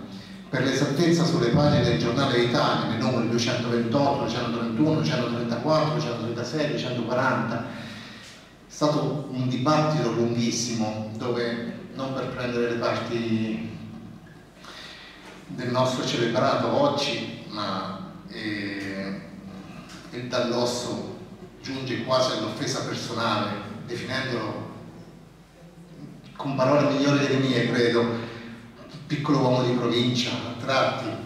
La bellezza che Sassi replicò rigorosamente, con forza sue, delle sue conoscenze, ma mai scese a, a quel livello, tant'è che continuò a rispettare sempre il Dall'Osso eh, anche negli anni a venire, ma con, con, con un'onestà intellettuale mirabile. Potrete leggere dopo nella mostra sotto, c'è il manifesto oh, che abbiamo riprodotto l'articolo Il caro arcaico di Fabriano. Guardate nell'incipit e come parla di, come parla di Dall'Osso, sembra non successo nulla. Vado verso la fine e farò, vi dirò quali sono stati poi i riferimenti successivi a sostegno della tesi di derivazione del nome Fabriano da Faberius. Ne cito soltanto alcuni. Nel 66 giustamente lo stesso Sassi tornerà sul tema in Curiosità della toponomastica fabrianese, edito da, edito da Arti Grafiche Gentile. Nel 72 il filologo linguista Gerard Rolls lo sostiene su studi e ricerche su lingue e dialetti d'Italia, edito Sansoni. Nel 1990 il professor Ivo Quagliarini argomenta, sostiene e fortifica la teoria nel saggio Questioni toponomastica, pubblicato in Abbazia e Castelli della Comunità Montana dell'Alta Vallesino, curato da Giancarlo Castagnari. L'ultimo riferimento a sostegno della presente teoria è di Giovanni Luzzi, qui presente ed è contenuto nel saggio L'arme di Fabriano pubblicato sul libro del Palio San Giovanni Battista 2018 Faber in Anne Udit. E prima di passare a quelli che ritengo doverosi ringraziamenti eh, volevo mostrare brevemente, vi rubo soltanto altri due minuti, eh, questa, questa, che definisco la bibliografia speciale. Non, non ho voluto prolungare il mio il mio discorso con, uh, con delle slide e quindi mi mostro quello che per me è ancora un divenire. E, ehm, insieme ad Eleonora, quando abbiamo fatto lo spoglio di, questa, di questi articoli sul catalogo, siccome non tutti i titoli sono esplicativi del contenuto, abbiamo fatto anche eh, delle note di commento e quindi riterrò finita questa bibliografia quando avrò aggiunto tutte le note di commento eh, corrispondenti ad ogni titolo eh, viene quasi lo svenimento solo a pensare che a volte ne scriveva anche tre in un solo numero di articoli. Eh, cioè, mi viene il dubbio che qualcuno lo conservava nella sua scrivania. E niente, questo è stato il mio piccolo umore contributo per celebrare una figura che 11 anni fa quando sono venuto qui a Fabriano, a vivere a Fabriano per lavorare in biblioteca mai avrei potuto pensare oggi di celebrare qui. Allora quindi ringrazio ancora Eleonora per, per questa lettura e per tutto il sostegno di questi mesi. Tra l'altro ha scritto una, ha scritto una tesi su Romualdo Sassi che discuterà tra qualche giorno all'università. Voglio infine ringraziare le mie colleghe Patricia Bartoccetti e Sara Gregori per le settimane e mesi di lavoro spesi per l'organizzazione della mostra Romualdo Sassi e l'Oristica. con dedizione e professionalità, ma le voglio ringraziare anche per la vita lavorativa di tutti i giorni, così come con la collega della sezione ragazzi Laura Carnevali. E ringrazio la direttrice Francesca Mannucci e Lab Storia, anzi prima Lab Storia, piccola parentesi, voglio ringraziare qui la dottoressa Letizia Dombesi, responsabile del Polo Marche Nord area, area Ancona e responsabile funzionaria eh, presso la Biblioteca Planetaria di Iesi perché questo mio studio è nato, lo studio di lavoro è nato grazie a un progetto che ho fatto con lei eh, proprio sulla catalogazione, nella fattispecie la catalogazione periodici, quindi se, se, se ho avuto questa ispirazione è stata proprio grazie a lei. Infine voglio ringraziare la Storia nelle figure, certo di comprendere tutti i soci e le socie, del Presidente Terenzio Baldoni e del Presidente onorario Giancarlo Castagnari. Grazie.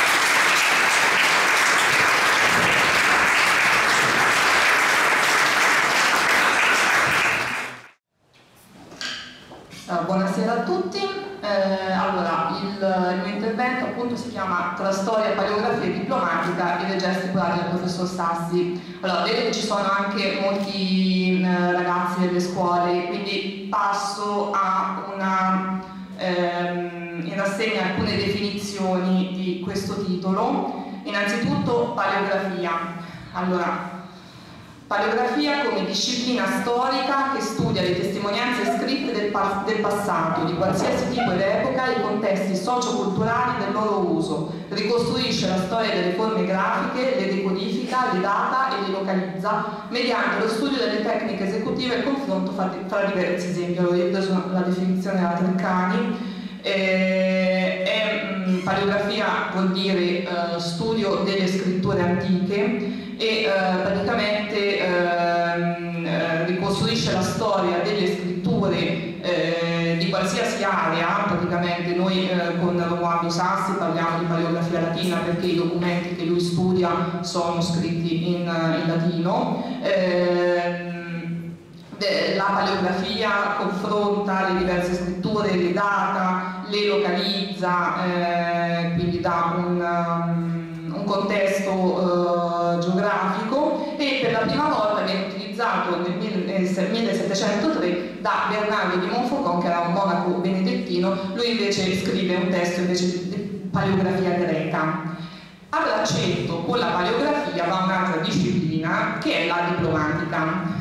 Qui io do una definizione di Alessandro Pratesi, grande diplomatista, ma che poi è stata modificata eh, diciamo, nel, da altri studiosi, diciamo, questa è la, eh, la, la, definizione standard. È la scienza che ha per oggetto lo studio critico del documento inteso come testimonianza scritta di un fatto di natura giuridica compilata con l'osservanza di certe determinate forme, le quali sono destinate a procurare le fede e a darle forza di prova, ovvero un documento in, mm, di natura giuridica, quindi un contratto, una, una dote, eh, una bolla, ehm, ehm, compilata con l'osservanza di alcune di determinate forme, quindi un formulario preciso, la, ehm, la sottoscrizione del notaio, il timbro, ehm, prova, forza di prova in giudizio, quindi eh, in un contenzioso il documento redatto con queste determinate, con questo formulario eh, dà, eh, dà fede al, al, documento. E eh, diplomatica eh, appare come mh, per la prima volta ehm, come disciplina nel 600, nella fine del 600, il capostipite eh, è, è Jean-Marie Yon, e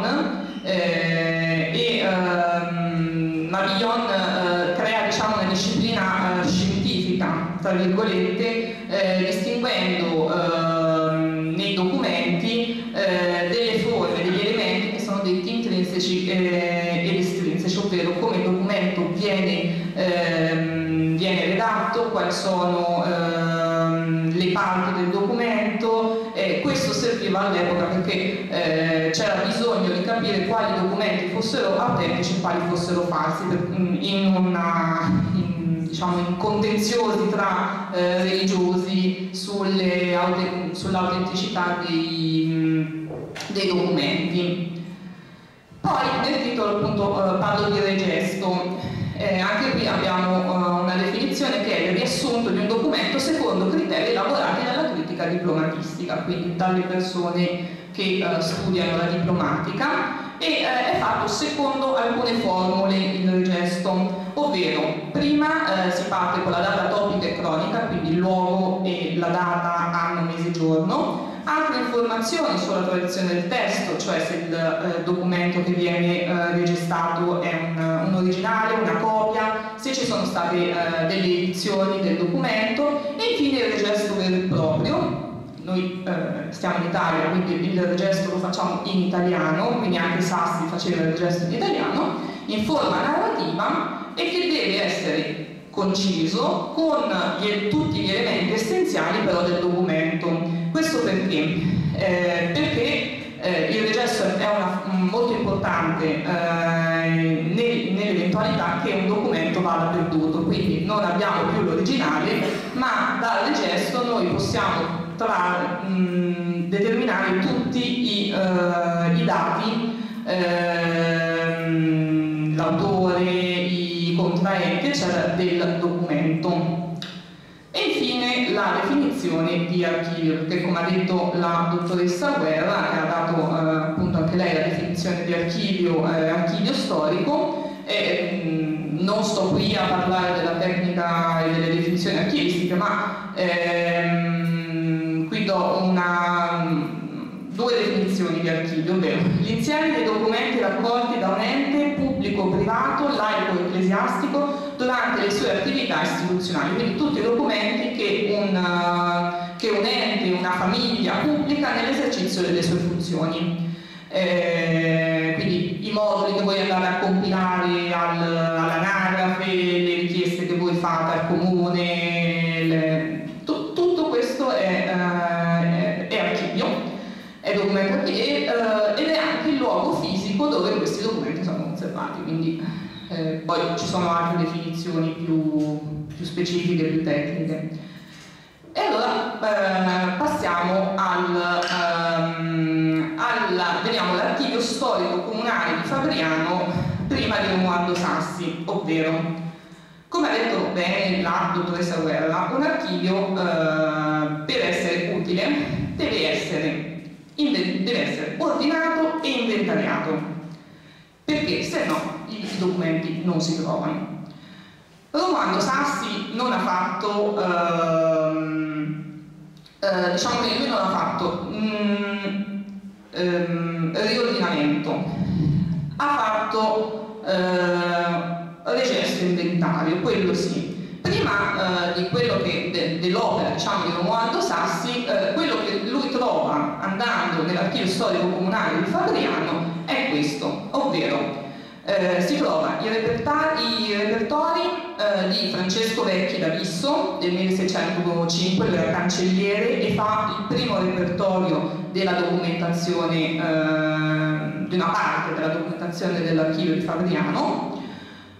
Alla fine del, 600 Giovanni Battista De Magistri, sacro cancelliere, fa un altro, eh, un altro repertorio di documenti de, eh, del castello della Genga, a mano a mano vengono implementati questi, questo mh, mm, eh, repertorio di De Magistris viene implementato fino ad arrivare all'Ottocento quando l'archivio storico comunale di Fabriano diventa eh, parte del um, de, eh, viene incaricata dalla biblioteca dove c'era Aurelio Zombi come bibliotecario che viene incaricato anche di fare il uh, riordinamento e l'inventario del, um, dell'archivio storico di Fabriano e quindi abbiamo il, nel 1875 quello che gli studiosi conoscono come uh, regesto Zonghi. Zonghi fa un uh, regesto non soltanto del, dell'archivio eh, storico comunale ma anche di fondi aggregati, tra cui il più importante è quello del grefotrofio,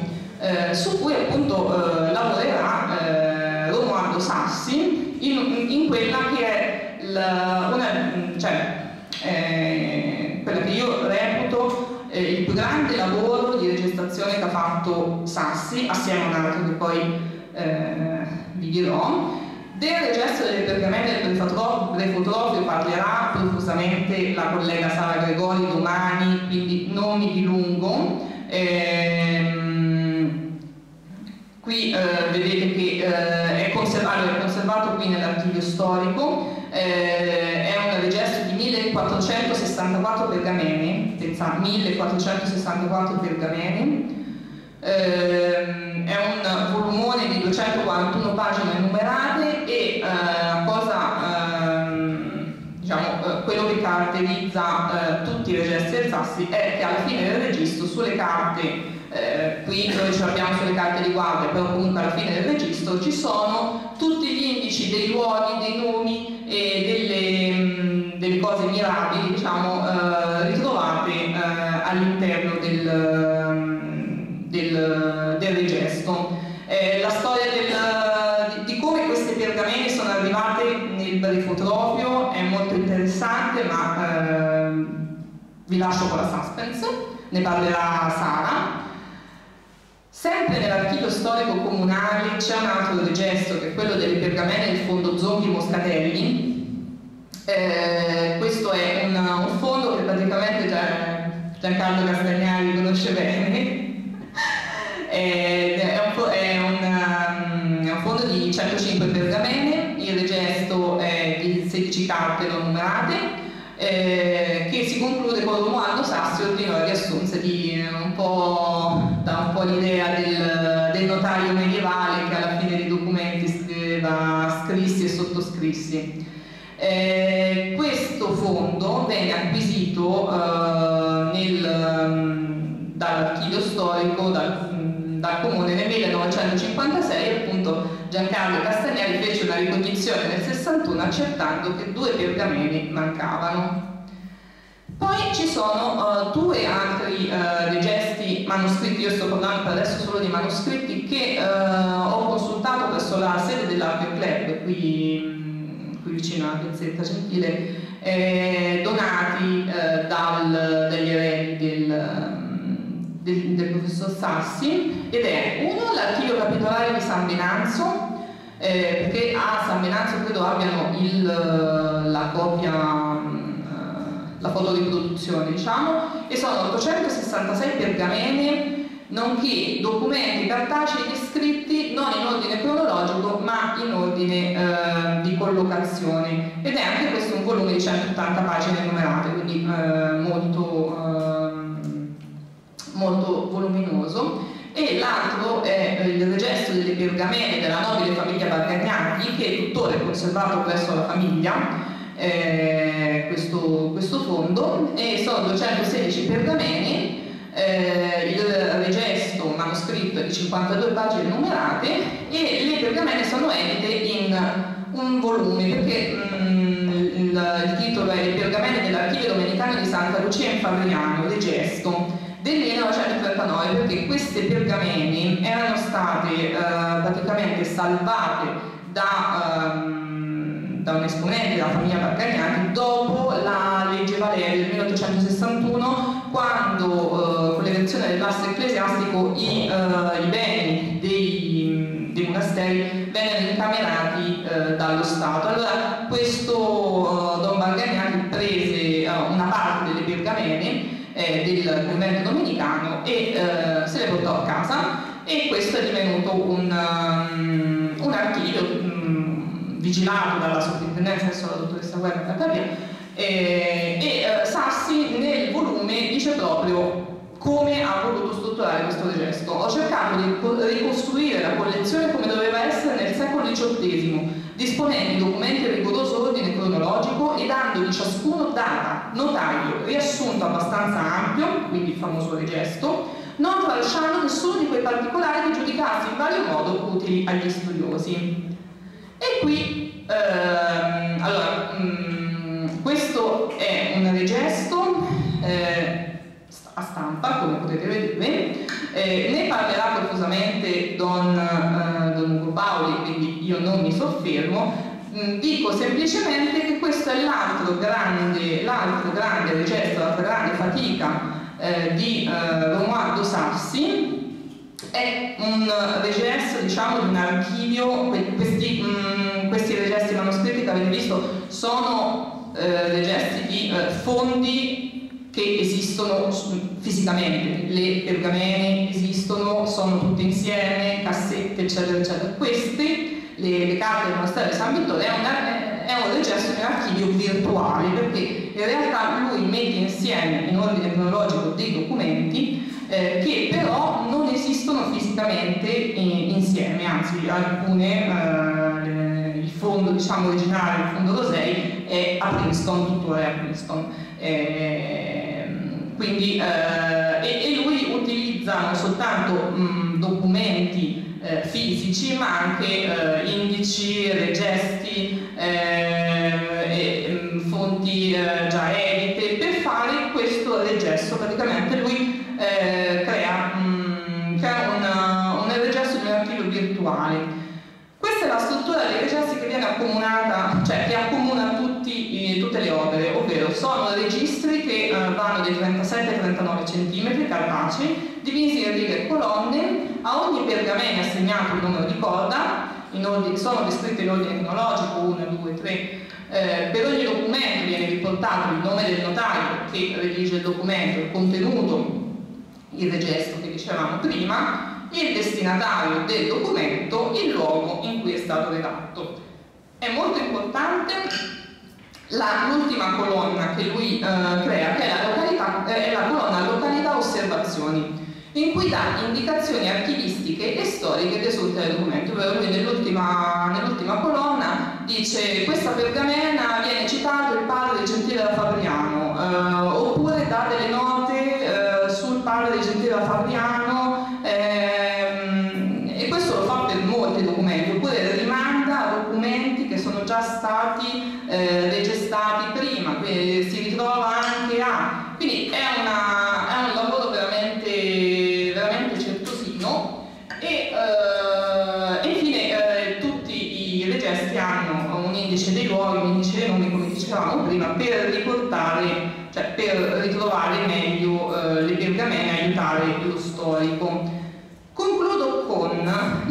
l'importanza della registrazione. Perché Romualdo Sassi fa queste cose? Perché lui non è un archivista, non è un bibliotecario, ma è uno storico e quindi lui fa ehm, questa operazione, eh, lo dice bene qui nel, nelle carte del monastero di San Vittore delle Chiuse sul Sentino, Raccogliere in un dirigente di gesto tutti i documenti conosciuti della celebre abbazia mi è sembrata utile cosa, già che si pone così a disposizione degli studiosi un materiale per molti aspetti prezioso, risparmiando la fatica di una ricerca in diverse raccolte, non tutte facilmente accessibili né regolarmente ordinate e catalogate.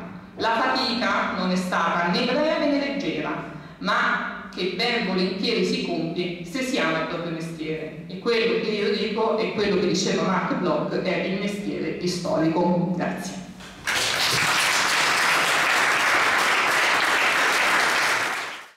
Buonasera a tutti quanti, eh, ringrazio il Presidente Terenzio Cardoni che adesso ho creduto bene di scomparire e mh, ringrazio anche tutti gli iscritti che mi hanno dato la possibilità di fare questa cosa. In realtà è la prima volta che mi appresto a fare una cosa del genere, però ecco quindi leggerò più che eh, entrare nel contenuto. Quello che tengo a precisare è che tutti quelli che hanno parlato prima di me sono veramente dei studiosi, dei storici e, e non solo, c'è un'altra cosa, cioè che quello che leggerò io va un po' in un ramo diverso eh, di quelli che fino adesso hanno parlato del professor Sassi in modo eh, giustamente eh, di persona brava, con tutti i pregi, mentre in questa lettura questo leggerò io, praticamente si vince che Selin vuole far notare che eh, Sassi, quasi lo rimprovera, aveva avuto un, accesso limitato all'archivio Ermelli. quindi io sono un grande appassionato di storia locale, ma nel contempo sono anche un grande ignorante, perché ecco, mi sono impostato tardi in questa materia. Eh, mi servo di, del PowerPoint, PowerPoint per, per fare prima e prenderlo più chiaro. Partiamo dal titolo. Paolo Selini ha sentito intitolare successivamente questo breve intervento come frequentazione del professor Romualdo Sassi dell'archivio Ramelli. Infatti poi scrive che in queste note viene descritto l'accesso limitato del professor Romualdo Sassi all'archivio Ramelli. Per completezza a questo intervento sono stati aggiunti, lui mi ha pregato dei libri che sono stati aggiunti all'archivio, questi due inediti, uno sono le note storiche su Marischio del 1944 e famiglie cospicue di Fabriano al principio del 1700. Una cosa che ho voluto che sottolineassi e che voleva vi dicessi è questa. La citazione va sempre spuntata sull'originale. Chi è del mestiere penso che abbia capito quello che voleva dire. La prima nota che vi andrò a leggere viene da Dalmazio Pilati, chi è Fabrianese 2, a pagina 217, anno 1993.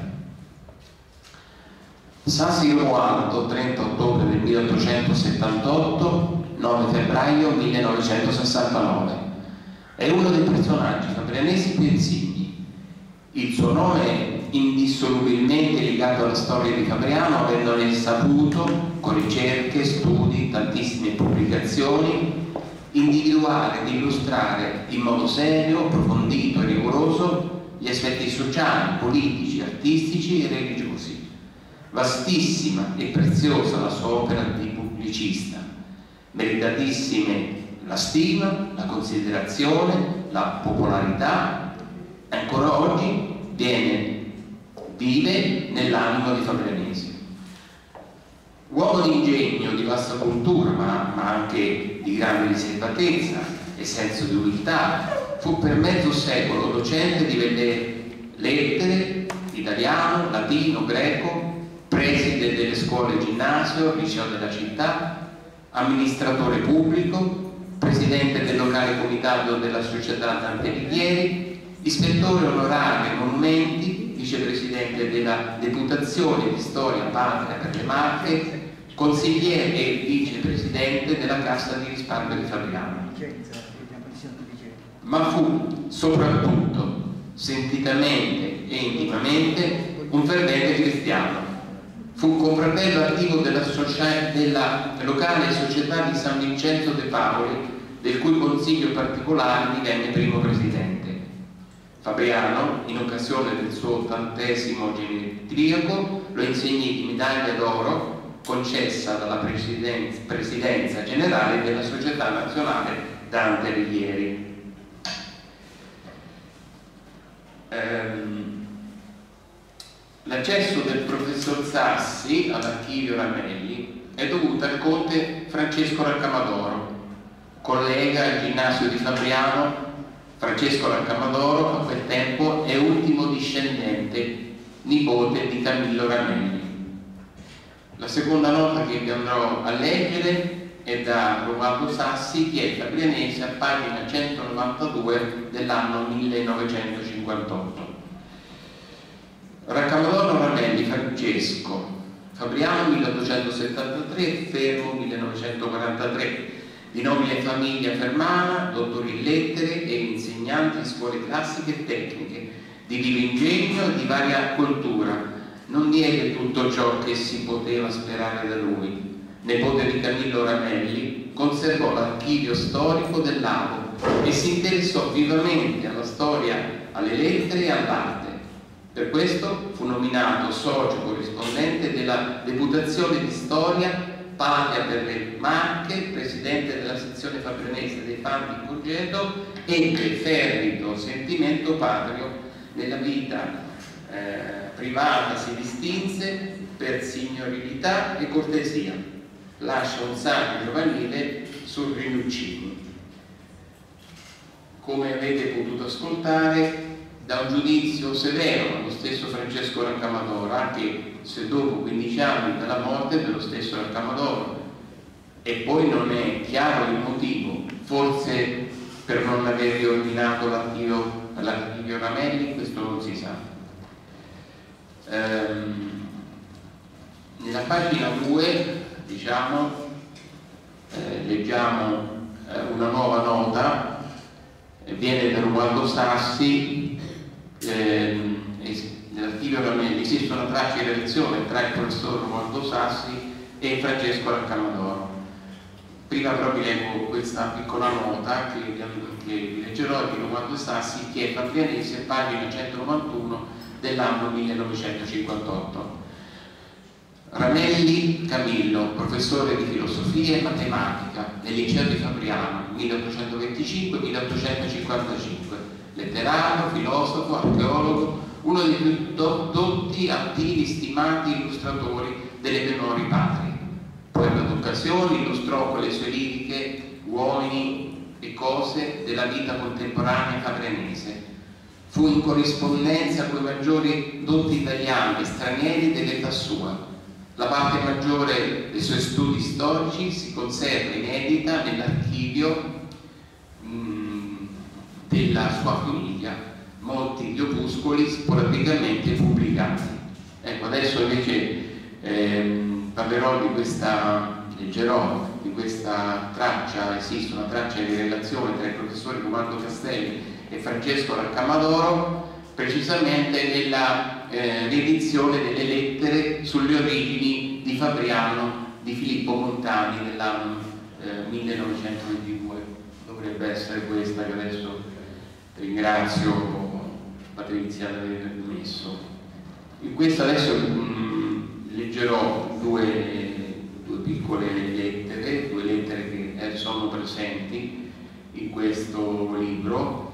Diciamo, la prima è di Nintoma, che sarebbe lo stesso Montani, qualcosa più convenevole al cittadino che l'essere istrutto sulle cose di sua patria e qual più inconvenevole che l'ignoranza di esse.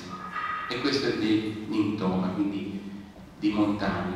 Poi c'è l'altra, un'altra lettera che è stata scritta da tutta l'intelligenza eh, di quella volta dei, dei Fabianesi, eh, cioè, sarebbe Benigni, Olivieri, Angelelli, Castelli, Gengarelli, Lottisoni, Ramadoro, Ramelli e Zacchini. Eh, la benemerita società cui è affidata la tutela del patrimonio artistico fabrianese non contenta di volgere le sue intelligenti ed efficaci alla conservazione di quadri, sculture, razzi ed altre opere d'arte di grande importanza pensò anche di promuovere la pubblicazione di manoscritti e la ristampa di libri divenuti rarissimi, gli uni e gli altri usciti dalla penna di egregi scrittori fabrianesi e degni di essere conosciuti il loro valore intrinseco o per il contributo che recano alla storia della nostra città e della nostra regione. Così sorse uno speciale comitato presieduto dall'egregio Patrizio Marchese Cavaliere Costantino Benigno Olivieri è composto dai signori, li ho detti prima, così velocizziamo, e, ehm, e ecco che mercé la dotta e paziente attività del professor Sassi escono alla luce in nitida stampa, arricchite d'un tesoro di note, quelle lettere dell'intoma, che i nostri contemporanei conoscevano per fama che pochissimi avevano lette. Non è dubbio che questo primo passo di un'impresa non facile tutt'altro che remunerativa provocherà l'assenso e il plauso di tutti gli amatori delle cose cittadine e degli studiosi della storia cristiana, sicché il comitato ne riceva incoraggiamento a proseguire la sua nobile iniziativa. E questo noi auguriamo per bene della città nostra e della cultura in generale. Ehm, come avete potuto ascoltare da un giudizio severo, questo l'avevo detto, scusate, vado a prendere apposta la prossima pagina. Questa in questa pagina, mh, eh, nella pagina successiva, eh, che è presente in, in Chiel Fabrenese, il professor Sassi elenca in bibliografia gli scritti di Camillo Ramelli. Diciamo, non ve li leggo tutti, ve li leggete, eh, non potete leggerli neanche voi, penso tutti quanti, però diciamo che quelli che mi ha detto eh, Paolo di, di, di, farvi presente sono Pegaso, eh, la visita al museo d'Avori Possenti, eh, discorsi intorno a Francesco Stelluti, accademico liceo, indicazione degli oggetti di arte Fabriano, fabrianesi illustri per dignità ecclesiastiche e sulla fabbricazione della carta in Fabriano. Ehm, nella pagina successiva, la quinta, eh, diciamo che si vede che nella terza pagina di copertina delle lettere che abbiamo visto prima, la copertina del libro Le lettere di Filippo Montani del 1922, eh, sono indicate le prossime pubblicazioni, notizie storiche di Fabriano di Camillo Ramelli e Convendioso l'acquario della storia di Fabriano di Venanzo Benigni. La pubblicazione degli studi storici di Camillo Ramelli curati da Francesco Raccamaloro non ha avuto poi seguito.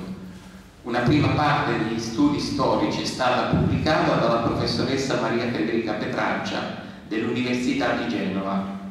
Studi storici di Camillo Ramelli e lapidario del Palazzo Comunale di Fabriano del 2007.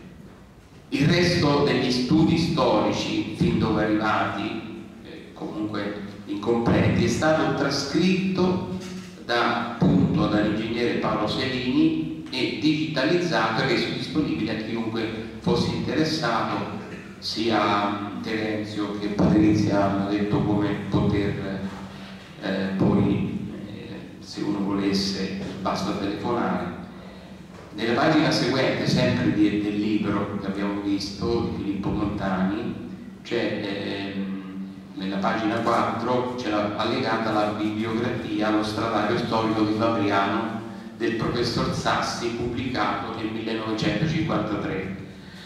Nell'elenco dei testi della bibliografia dell'archivio Ramelli ci sono presenti eh, Graziosi Crocetti, nel senso che Crocetti fece il riassunto di graziosi per raggiungere poi fino al 1906 la storia di Fabriano.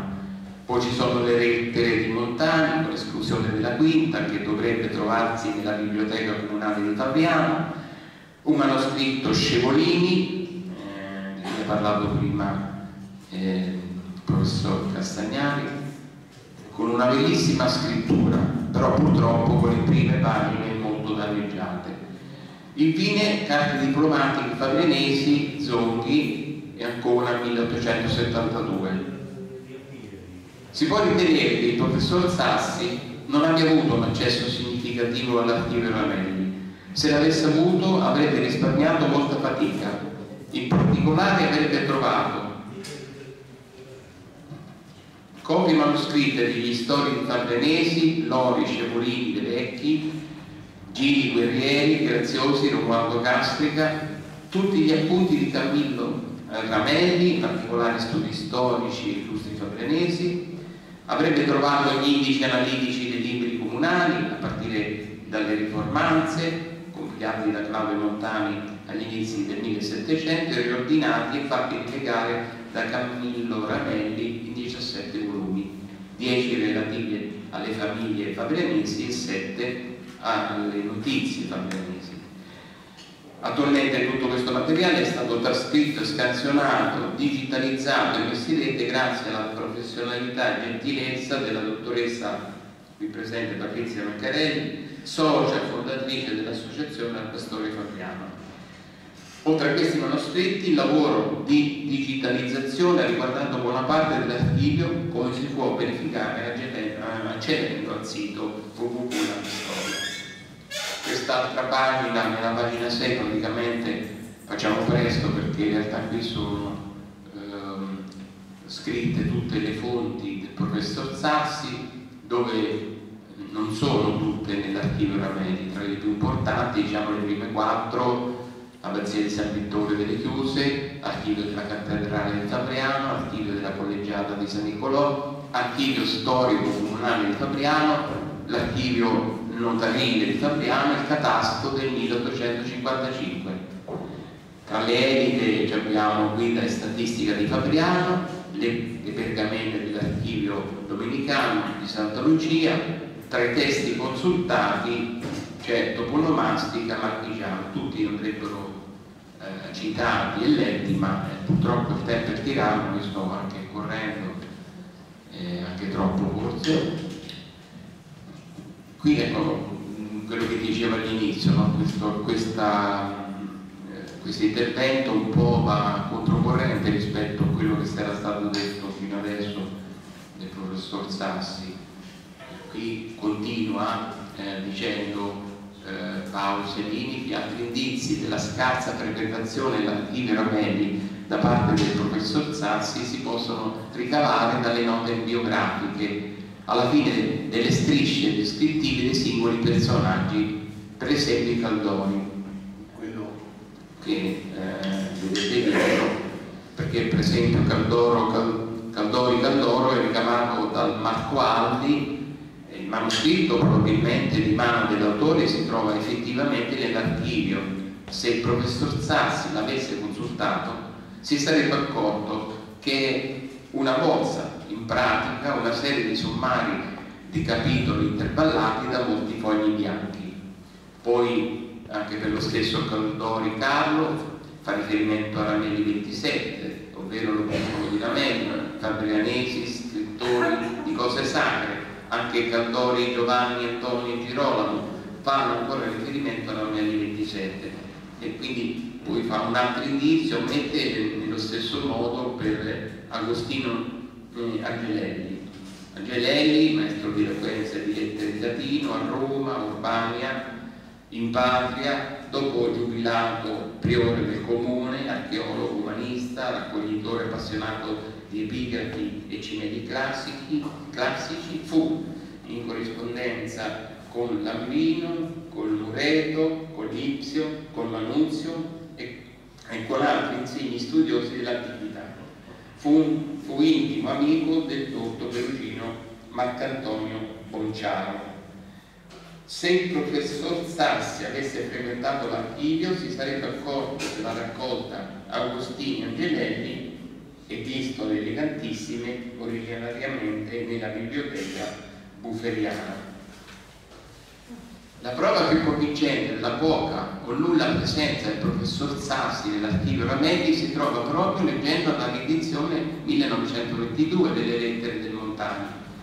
Nella lettera seconda sopra la battaglia tra Narsete, capitano di Giustiniano Imperatore, e Totila, re dei Goti, Filippo Montani sostiene che la battaglia avvenne nella piana sotto Bastia e che poi, sconfitto e ferito nella fuga, Totila sia morto nel versante umbro, in località Capras, presso Valdo.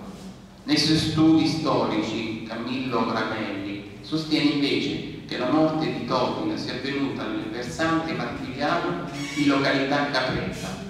Capretta è un luogo storico dell'immaginario fabrenese, la tomba, secondo Camillo Ramelli, sarebbe la famosa grotta di Cimiglia, tuttora argomento di numerose fantasie.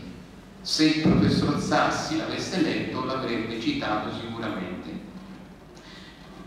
Il professor Sassi invece sicuramente ha frequentato il palazzo Ramelli per il lapidario posto nell'ingresso del numero 25 di via Marconi, come risulta dal suo I ricordi romani di Fabriano Fabriano 1938, lavoro ripreso da Maria Federica eh, Petraccia, come avevamo visto prima. Ad onore del Sassi va detto che quando poteva le fonti le guardava. Un esempio è la vera collocazione del primo convento dei francescani conventuale Fabriano.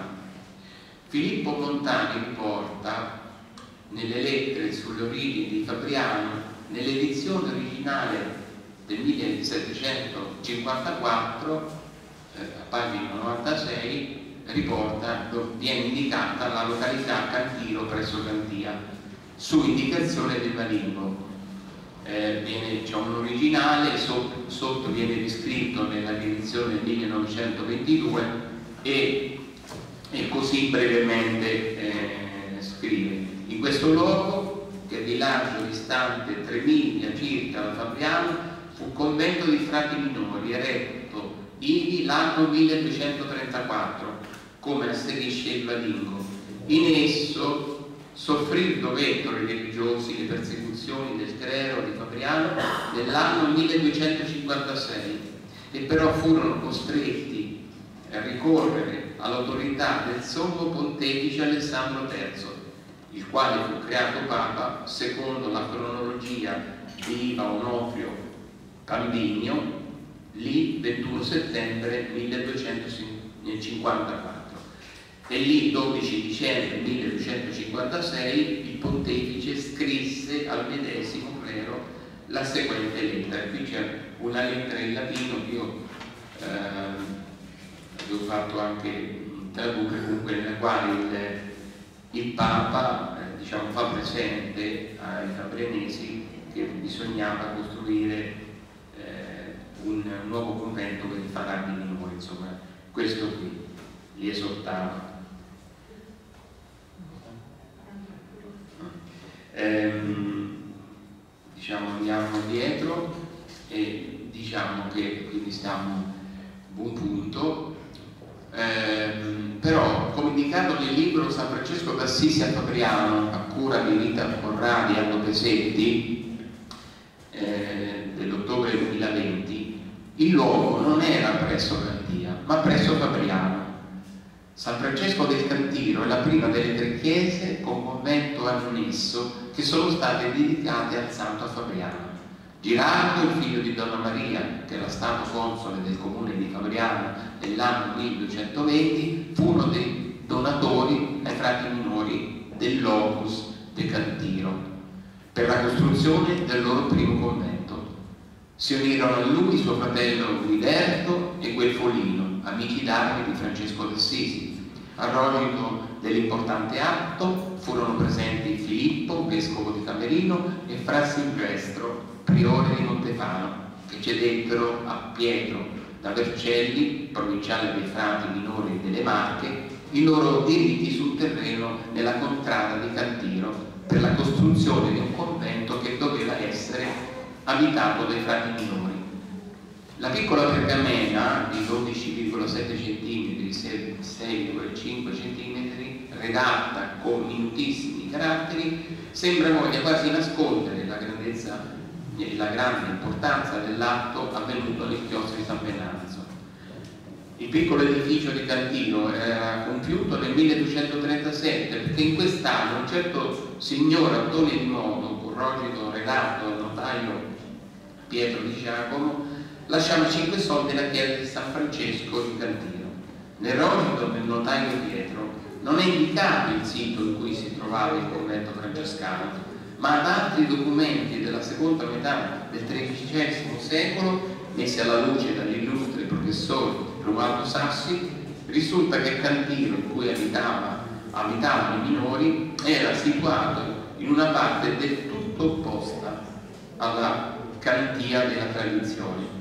Infatti il documento del 1249 esistente nell'archivio comunale fa menzione di un asio San Francisci in plano, contrada limitrofa a Porta Cervara. Il Sassi così descrive il toponimo Cantiro, antica contrada suburbana, est, extra et prove portam Cervariam, o anche extra portam plani dal giardino pubblico salendo verso Colle Mico. Vi sorse nel 1234 il primo convento francescano. Sono così denominati anche i monasteri di San Bartolo e Santa Maria delle Repentute. Qui diciamo che nella pagina successiva eh, sì, l'abbiamo compreso, no? e, diciamo, eccetera. E, diciamo, ci aggiungo le ultime righe senza rileggere tutto, che in fondo è quello che ho detto, Nel libro a cura di Aldo Pesetti e Rita Corradi sono riportate le pergamene da cui risulta la posizione indicata dal professor Sassi, estra et prope portano cervarium. Alle pagine 240-42 le leggete, le pergamene si trovano nella biblioteca comunale di Fabriano e sono state oggetto di mostre. Eh, qui di seguito riporta anche questa, non credo che la leggiamo, la pagina successiva, perché tanto diciamo fa vedere quella pergamena, a quel punto Sassi prende per buone quello che eh, c'è scritto nelle pergamene e quindi... Quindi possiamo pubblicarlo questo documento? Sì, sì non, penso di sì, io non, non, non, non, so quello che dirti perché in che senso. Sul sito? Sì, sì, no, io penso di sì, diciamo questa è una cosa che dovete dirlo a, a Paolo, però anzi lui mi ha detto che aveva preparato anche questi altri due allegati, quindi presumo che lui non abbia nessuna difficoltà. Ecco, io ho notato solo il fatto, anche con un po' di imbarazzo, dico la verità, di aver sentito prima tutti i relatori parlare eh, di un certo modo, di, giustamente dico, di, di Sassi, quindi magari incontrando delle cose che non sono proprio allineate, quindi di questo che l'ho affrontato anche in questa maniera. Diciamo però la storia non è matematica quindi eh, penso che non so ecco. comunque il risultato di questa indagine potrebbe apparire deludente continua l'ingegnere Paolo Selini il professor Sassi non ha utilizzato a fondo l'archivio Ramelli. Come consolazione leghiamo due inediti che sarebbero questi due fatto vedere il primo sono appunti storici di Marisco riguardante Marisco e dintorni probabilmente commissionato da Michele Raccamadoro nel 1944, proprietario di terreni in località Torre Cecchina, passati in eredità ai Raccamadoro Ramelli, all'estinzione della famiglia Montani, precedenti proprietari. E qui le, diciamo, i Ramelli sono originari di Luca e sono venuti a Fabriano a fine 1600, probabilmente su suggerimento di un Montani che si trovava in quei tempi a Lucca per incarico pubblico lo studio del Sassi è prodotto scansionato tale e quale con lo stile dattilografico dell'autore. Unica modifica una pagina fuori testo per spiegare come dal quadrato misterioso che decora eh, la vecchia campana di, di Torre Cecchina si possa ottenere la doppia scritta incrociata alfa paternoster omega che sarebbe questa cioè, diciamo se qui non si vede i colori però se seguite le frecce parte in alto con l'alfa e finisce in fondo l'uscita della freccia con omega. E praticamente c'è scritto ecco pater noster eh, in, questo, in, questo, senso. Poi eh, il secondo inedito e ho finito eh, poi dopo alla fine ringrazio il presidente che adesso non c'è Terenzio. Famiglie fabrenesi riguardanti le abitazioni delle famiglie signorili fabrenesi ottenute dagli appunti del Graziosi. Questi appunti, parlo uh, con, la sua voce, questi appunti mi sono stati consegnati da Don Italo Michelini, che io poi ho conosciuto bene, mio amico dal 1950 e mi sono permesso di riordinarli completamente per renderli più comodamente leggibili, inserendo poi per ciascuna famiglia gli stemmi sia disegnati da Don Italo che ricavati dalla raccolta nell'archivio Benigni e le mappe delle zone in cui si trovano le abitazioni, ritagliate al computer da foto di antiche stampe cabrenesi. Grazie e scusate. Grazie. I registri delle carte di San Vittore delle Chiuse già la dottoressa Graziosi aveva fatto vedere il frontespizio del volume che contiene appunto eh, i regesti delle carte di San Vittore delle Chiuse. Il volume contiene i regesti, già è stato detto prima, riassunto in lingua italiana, per noi che siamo in Italia, di 761 documenti latini relativi all'abbazia di San Vittore delle Chiuse. Quando il professor Romualdo Sassi pubblicò questa importante opera aveva 84 anni quindi aveva una bella età. Malgrado l'avanzata età, scrive nell'avvertenza al volume il senatore Raffaele Lia, presidente della Deputazione di Storia Patria per le Marche, adesso è il professore qui davanti, il presidente. C'è stato un crollo verticale. Eh, il professor Sassi continua con intenso amore ad illustrare la sua terra e vogliamo qui ricordare che i due ultimi volumi delle fonti, fonti è una collana parallela che poi si è fermata proprio con i volumi del Sassi nel 1955 perché mi pare che non è andato a testi. Eh, eh, quindi ecco, benissimo, sì quindi che si affiancava a dati e memorie della Deputazione di Storia Patria. Dice anche che questi due ultimi volumi delle fonti sono opera del Sassi. Entrambi i volumi sono stati pubblicati nel 1955. I due volumi sono documenti sul soggiorno fabriano di Niccolò V e della sua corte nel 1449 e nel 1450, siccome a, a Roma c'era la peste, il Papa molto coraggiosamente ha pensato di darsela a gambe e è venuto, si è ritirato nelle Marche in attesa che la peste scomparisse. Eh, l'altro volume è documenti chiavelleschi, poi vengono si attenuasse. Si tratta di due lavori impegnativi che hanno richiesto una rigorosa e laboriosa ricerca archivistica. A questo riguardo sono da menzionare altri due volumi pubblicati in precedenza dal professor Sassi, le carte di Santa Maria d'Appennino, 1929, e le pergamene dell'archivio domenicano di Santa Lucia in Fabriano, sempre in forma di regesto. Il senatore Raffaele Lia così concludeva l'avvertenza al volume del professor Sassi, le carte di San Vittore delle Chiuse. Mi piace qui esprimere, esprimere qui pubblicamente il plauso e l'ammirazione di tutti i soci della deputazione al venerando studioso, additandolo specialmente ai giovani quale esempio di dedizione alle nostre marche e alla deputazione. Mi pare che rappresentanti dei giovani ne sono rimasti pochi perché un po' alla volta sono, sono sciamati, bravi è un coraggioso, bene. E poi c'è anche Giorgia.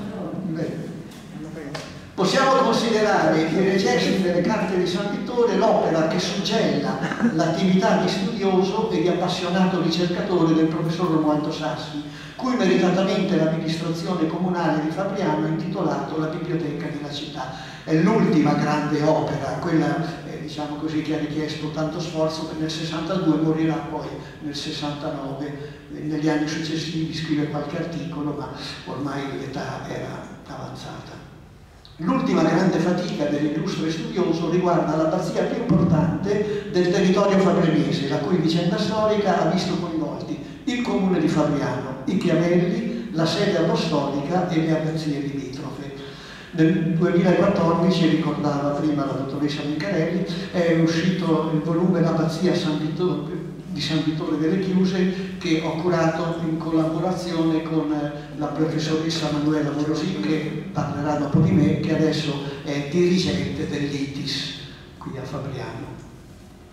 L'abbazia benedettina di San Vittore delle Chiuse sorge all'inizio del secolo XI agli estremi confini nord-orientali del Ducato di Spoleto, nel territorio di Castelpetroso, ora si chiama Pierosana, sulla destra del fiume Sentino, presso la confluenza con l'Esino in diocesi di Camerino. Ecco qui abbiamo il Ducato di Spoleto, Qui abbiamo la diocesi di Camerino come era all'epoca e vedete ecco qui San Vittore delle Chiuse e poi altre eh, importanti abbazie che si trovavano nella diocesi di Camerino e in parte nella diocesi di eh, Nocera Umbra. Ecco questo è il fiume Santino che dopo un po', eh, sulla destra c'è San Vittore delle Chiuse, e dopo un po' confluisce Qui un'altra immagine di San Vittore delle Chiuse, eh, un, eh, un acquarello del, eh, di Sandro Ferroni. Eh, sì, ecco, ecco. Che cosa è rimasto del complesso monastico? La chiesa, che tutti conosciamo, è ormai appurato che la costruzione è avvenuta sotto l'abbaziato di Morico II nel decennio 1070-1080, quindi verso la fine del secolo XI. Ecco la chiesa, Del monastero è rimasta la torre eh, cilindrica, questa qui, e la torre quadrangolare che adesso vediamo meglio, torre cilindrica e torre quadrangolare. E poi anche una costruzione rettangolare che chiudeva il lato occidentale del chiostro, adesso faccio vedere l'immagine, che oggi è sede del Museo Speleontologico Archeologico di Genga, ecco che sarebbe questa costruzione qui. E qui c'è un'altra immagine, ecco, qui è l'ingresso appunto al museo e qua invece c'è l'ingresso alla chiesa.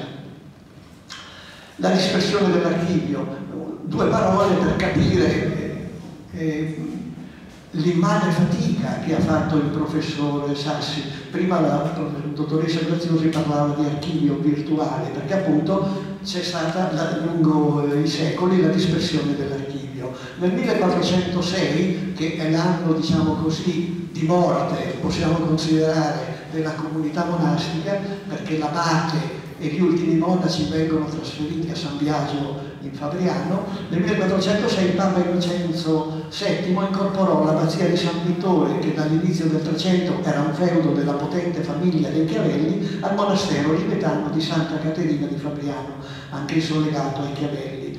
Doveroso ricordo adesso mi viene in mente il presidente adesso della casa di riposo che è scomparso da pochi giorni, che appunto è a Santa Caterina, questa eh, casa albergo l'architetto eh, Vallelli.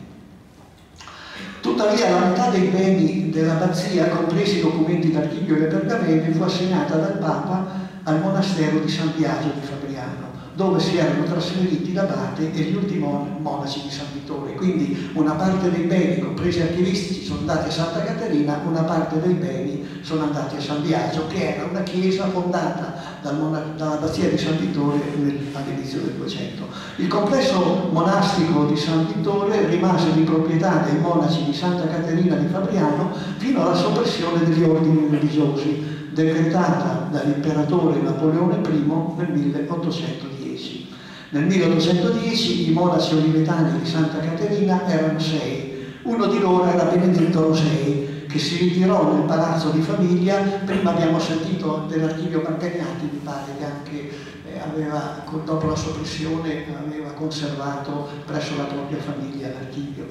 Benedetto Rosei era un monaco e portò con sé il fondo archivistico perché la comunità era stata sciolta eh, comprendente anche le carte di San Vittore, in attesa della riapertura del monastero che non avvenne. Nel 1889, tramite l'antiquario Leo Samueloschi, la maggior parte dei documenti dell'ex monastero ribetano di Santa Caterina fu venduta a William Taylor Saidi, un americano di passaggio in Italia. Si trattava di oltre 500 pergamene, dal 999, documento più antico, che riguarda San Vittore, al 1762, di cui circa 200 riguardavano l'abbazia di San Vittore. Nel 1938, ecco un po' di storia, il figlio del, del, del vecchio Saidi depositò il materiale Rosei e altri documenti acquistati da librerie antiquarie o all'asta presso la library dell'Università di Princeton che è stata nominata prima. Nel 1947 eh, Saidi, che io ho conosciuto, morto nel 2014, anzi mi aveva invitato per i suoi 80 anni, nipote di Vigliatello, trasformò il deposito in dono. Ecco, nel 1992 eh, il Presidente ricorda, eh, conosce bene il professor Amarucci, siamo andati eh, a, a Princeton nell'estate a Clifton c'era, l'ho segnato appunto con un cerchietto perché c'era un monastero silvestrino a Clifton e andavamo, eh, come dicono in America, by car tutte le mattine, eh, partivamo alle 7 per andare alla library, andare all'Università di Princeton, che è famosa, insomma, no? l'Università di Princeton, dove sono conservati questi documenti, di cui circa 200 eh, riguardano eh, San Vittore delle Chiuse. Ecco, Princeton, New Jersey, quindi vicino allo Stato di New York, ecco questa è sempre l'università e questa dovrebbe essere forse questa la library, questa è la chiesa perché eh, tutte le università hanno pure la Chiesa, eh, almeno quelle. Questo è il documento, quello è un po' più antico, eh, questo è il documento del 999 che tengo la Princeton sotto vetro, che è il documento, forse, so, forse il documento più antico che hanno sicuramente lì alla library. Riguarda un contratto di, eh, di compravendita fra privati.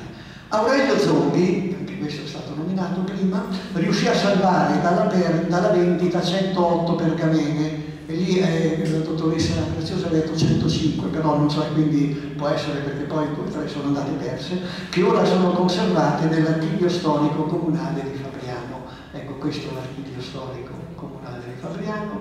Le pergamene, e questo per quanto riguarda le, eh, eh, le pergamene che sono andate che da Santa Caterina con la soppressione eh, del monastero di Metano sono andate presso la famiglia Rosei, dalla famiglia Rosei attraverso Oschi sono andate eh, a finire in America. Adesso c'è la, la, metà delle pergamene che invece sono andate e sono state assegnate al monastero di San Biagio e quelle si trovano, sono conservate nell'archivio di Fonte Avellana.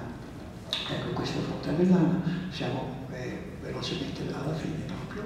Il lavoro di raccolta delle fonti disperse dell'abbazia di San Vittore delle Chiuse è stato arduo e impegnativo. Il professor Sassi, nella premessa del volume, scrive che la fatica non è stata né breve né leggera. Cioè, si è vista la citazione anche prima, fatta nella relazione precedente ma ne valsa la pena perché le carte di San Vittore rappresentano la fonte principale per la storia del territorio fabrianese nei secoli XI-XII. Porto due o tre esempi e concludo.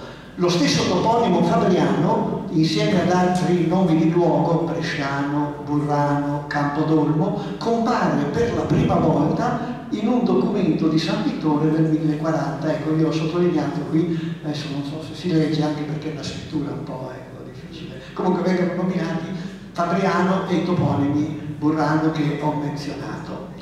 Anche la più antica attestazione del castello di Fabriano si ha in un documento di San Vittore del 1041, dove appunto c'è questa vendita fra privati eh, di un appezzamento di terra in ipso destritto, perché del castello Fabriani è, è molto ostico il latino, con barbarismi, eh, volgarismi, eccetera, siamo nel secolo XI e, è sempre in una pergamena di San Vittore del 1011 che è documentato per la prima volta il fiume Castellano. L'attuale denominazione di Gianno, questo hanno preso proprio, ecco vedete lo stadario storico che è stato ricordato precedentemente, del Sassi, inizia a trovarsi alla fine del secolo XIV in qualche scrittore e non prima del XVII si incontra in atti notarili. E anche, questo è l'ultimo, diciamo che... Eh, l'ultima curiosità storica che eh, si trova nei eh, gesti di San Vittore, anche in una carta di San Vittore del 1218 che viene nominato per la prima volta il castello di Sena San Quirico.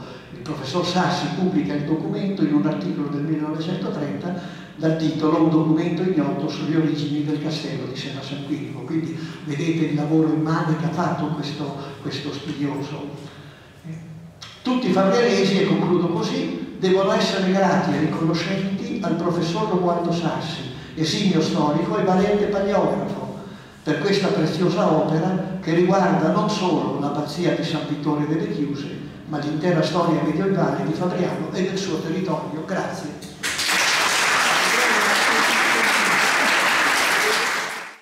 È sempre rischioso essere gli ultimi perché nella mia relazione non ho fatto altro che spuntare, dire questo è stato trattato, questo è stato fatto, quindi sarò più breve di quello che avevo previsto, meno male.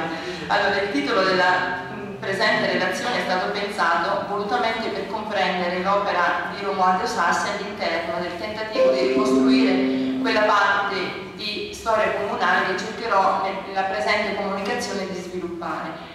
Avevo pensato una parte relativa allo sviluppo della storiografia che non farò perché già ha eh, sommamente illustrato Giancarlo Castagnani. Altre cose sono state dette qua e là, quindi dovrete avere un po' di pazienza, magari ci saranno delle ripetizioni, cercherò comunque di eh, essere più mh, mm, veloce possibile e passerò direttamente mm, a quella che è la ricostruzione storica del periodo delle origini del comune fabrianese, rilacciandomi direttamente a quello che avete visto e che stava proiettando Don Ugo poco fa alle mie spalle. Fino alla metà del secolo XII i territori della Marca erano quasi tutti sotto l'influenza dell'imperatore. Quanto riguarda il comune di Fabriano, i documenti parlano chiaro e accanto al nome dell'imperatore vengono spesso nominati i duchi di Spoleto e marchesi di Ancona.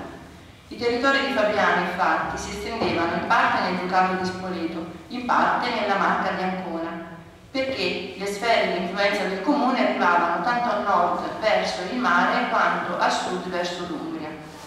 Il marchese a capo di questo vasto territorio era in genere fino agli Westphalen uomo di armi, scelto dagli imperatori, almeno fino a quando Celestino III, approfittando del vuoto di potere creatosi dall'improvvisa e prematura morte di Enrico VI e per l'assenza dalla marca di Marco Aldo di Anweiler, senescalco imperiale, dichiarò l'intera marca alle terre della Chiesa, imponendo un rettore ecclesiastico e pretendendo che i vari centri di potere laici ed ecclesiastici gli prestassero giuramento. Con Innocenzo III la Chiesa fece un ulteriore passo in avanti, riuscendo a recuperare nel 1198 il, ducato, il ducato di Spoleto. Questa data 1198 la vedremo ricorrere spesso in questa relazione, quasi fosse una sorta di nostro 1492, poi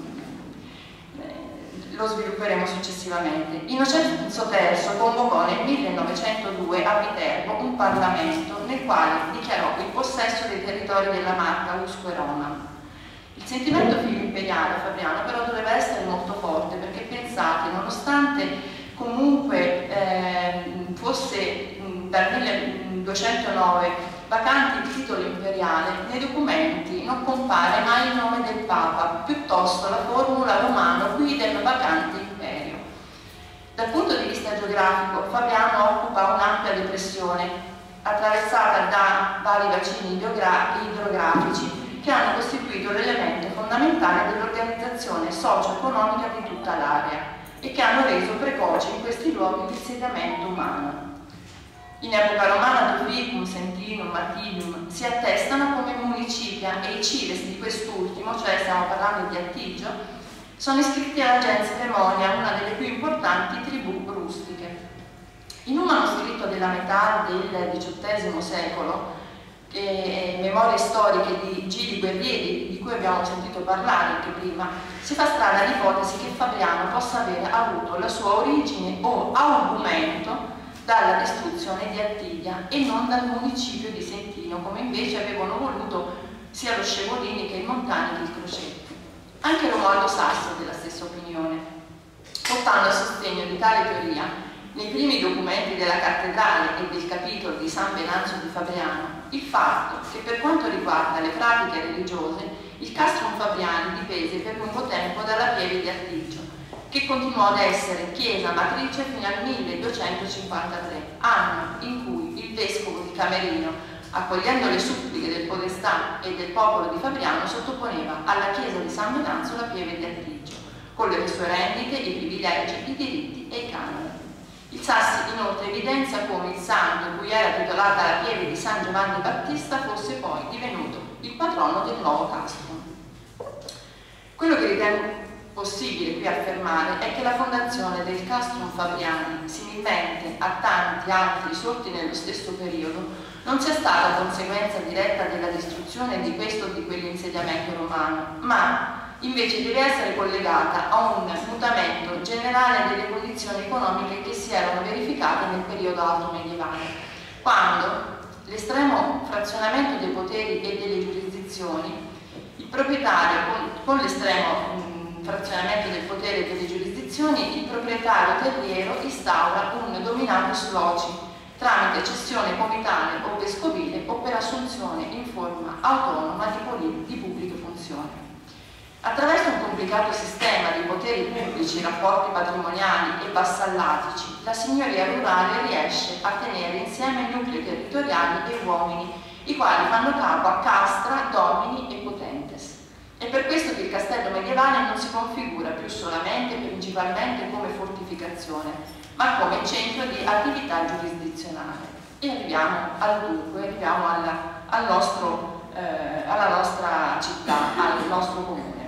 Le prime attestazioni, come ci diceva Lugo poco fa, dell'originario nucleo abitativo castrense fabrianese compaiono in un documento facente parte delle carte del monastero di San Vittore delle Chiuse, risalente al 1040. È una donazione fatta da Pietro di Atto al monastero di San Vittore e nell'elencazione si legge, nell'elencazione si leggono questi confini, Fluvio Castellano e via qui per pervenne Santa Maria veniente ad Versiano, via Fabiani veniente ad Buriano.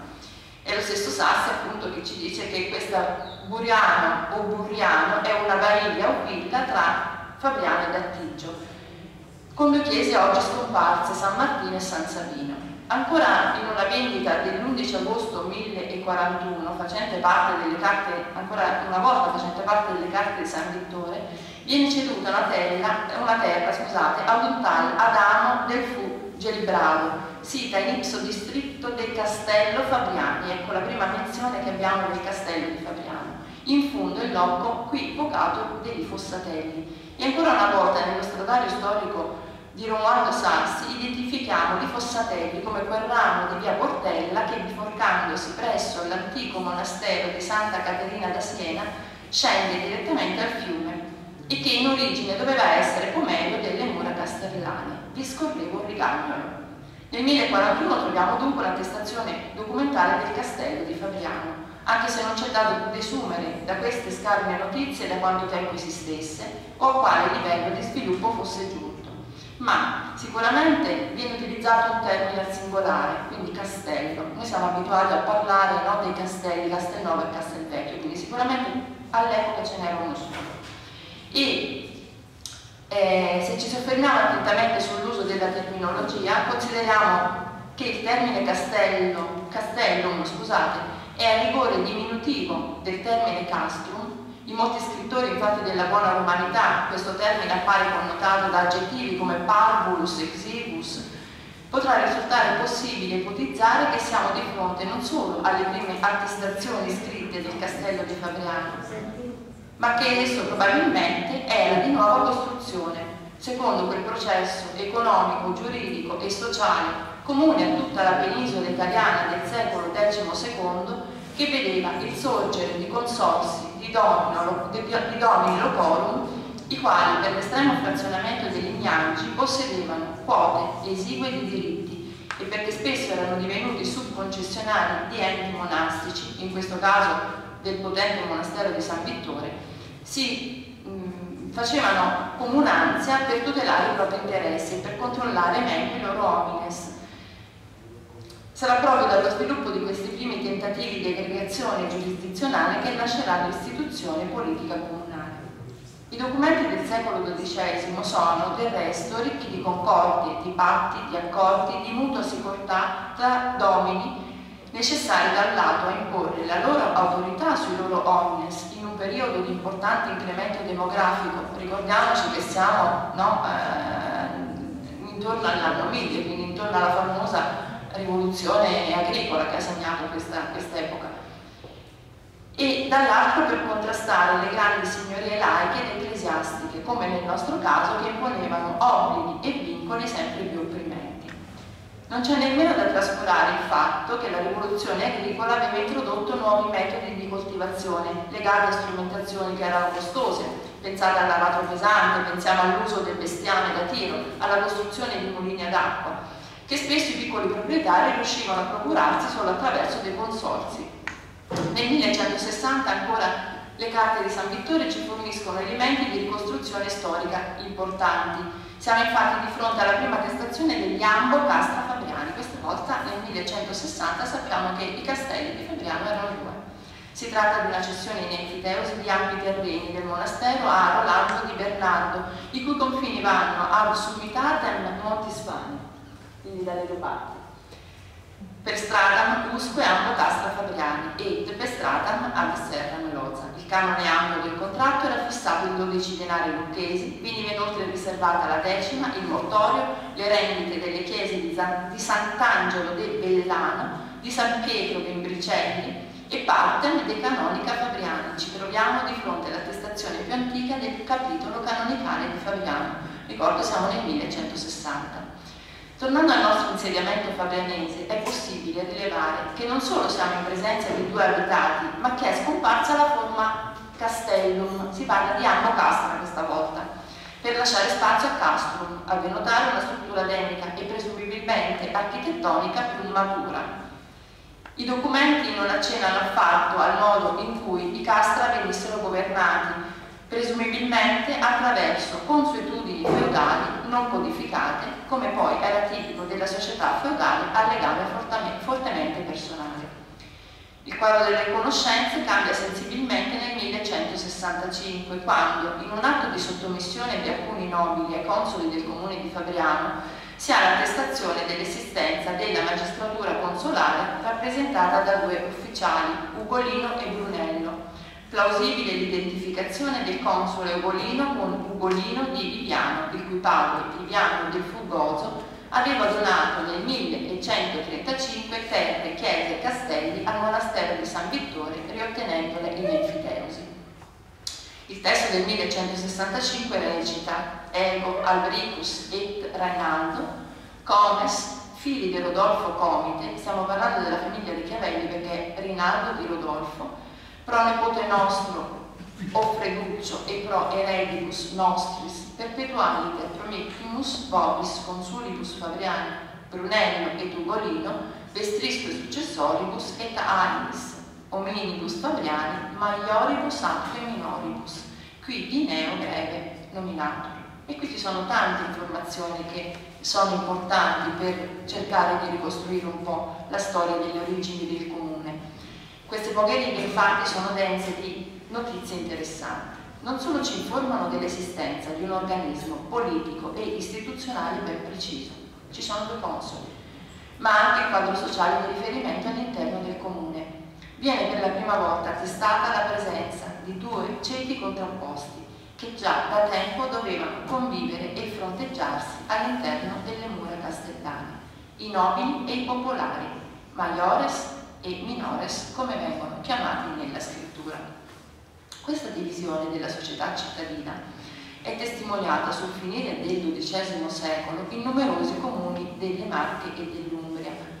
Caso emblematico quello di Assisi. 1198, vedete come ci ricorre questa data. 1198 ad Assisi scoppia una lotta fra i boni homines e gli homines populi che distruggono la rocca imperiale della città e le case torri dei signori quali sono costretti a rifugiarsi a Perugia.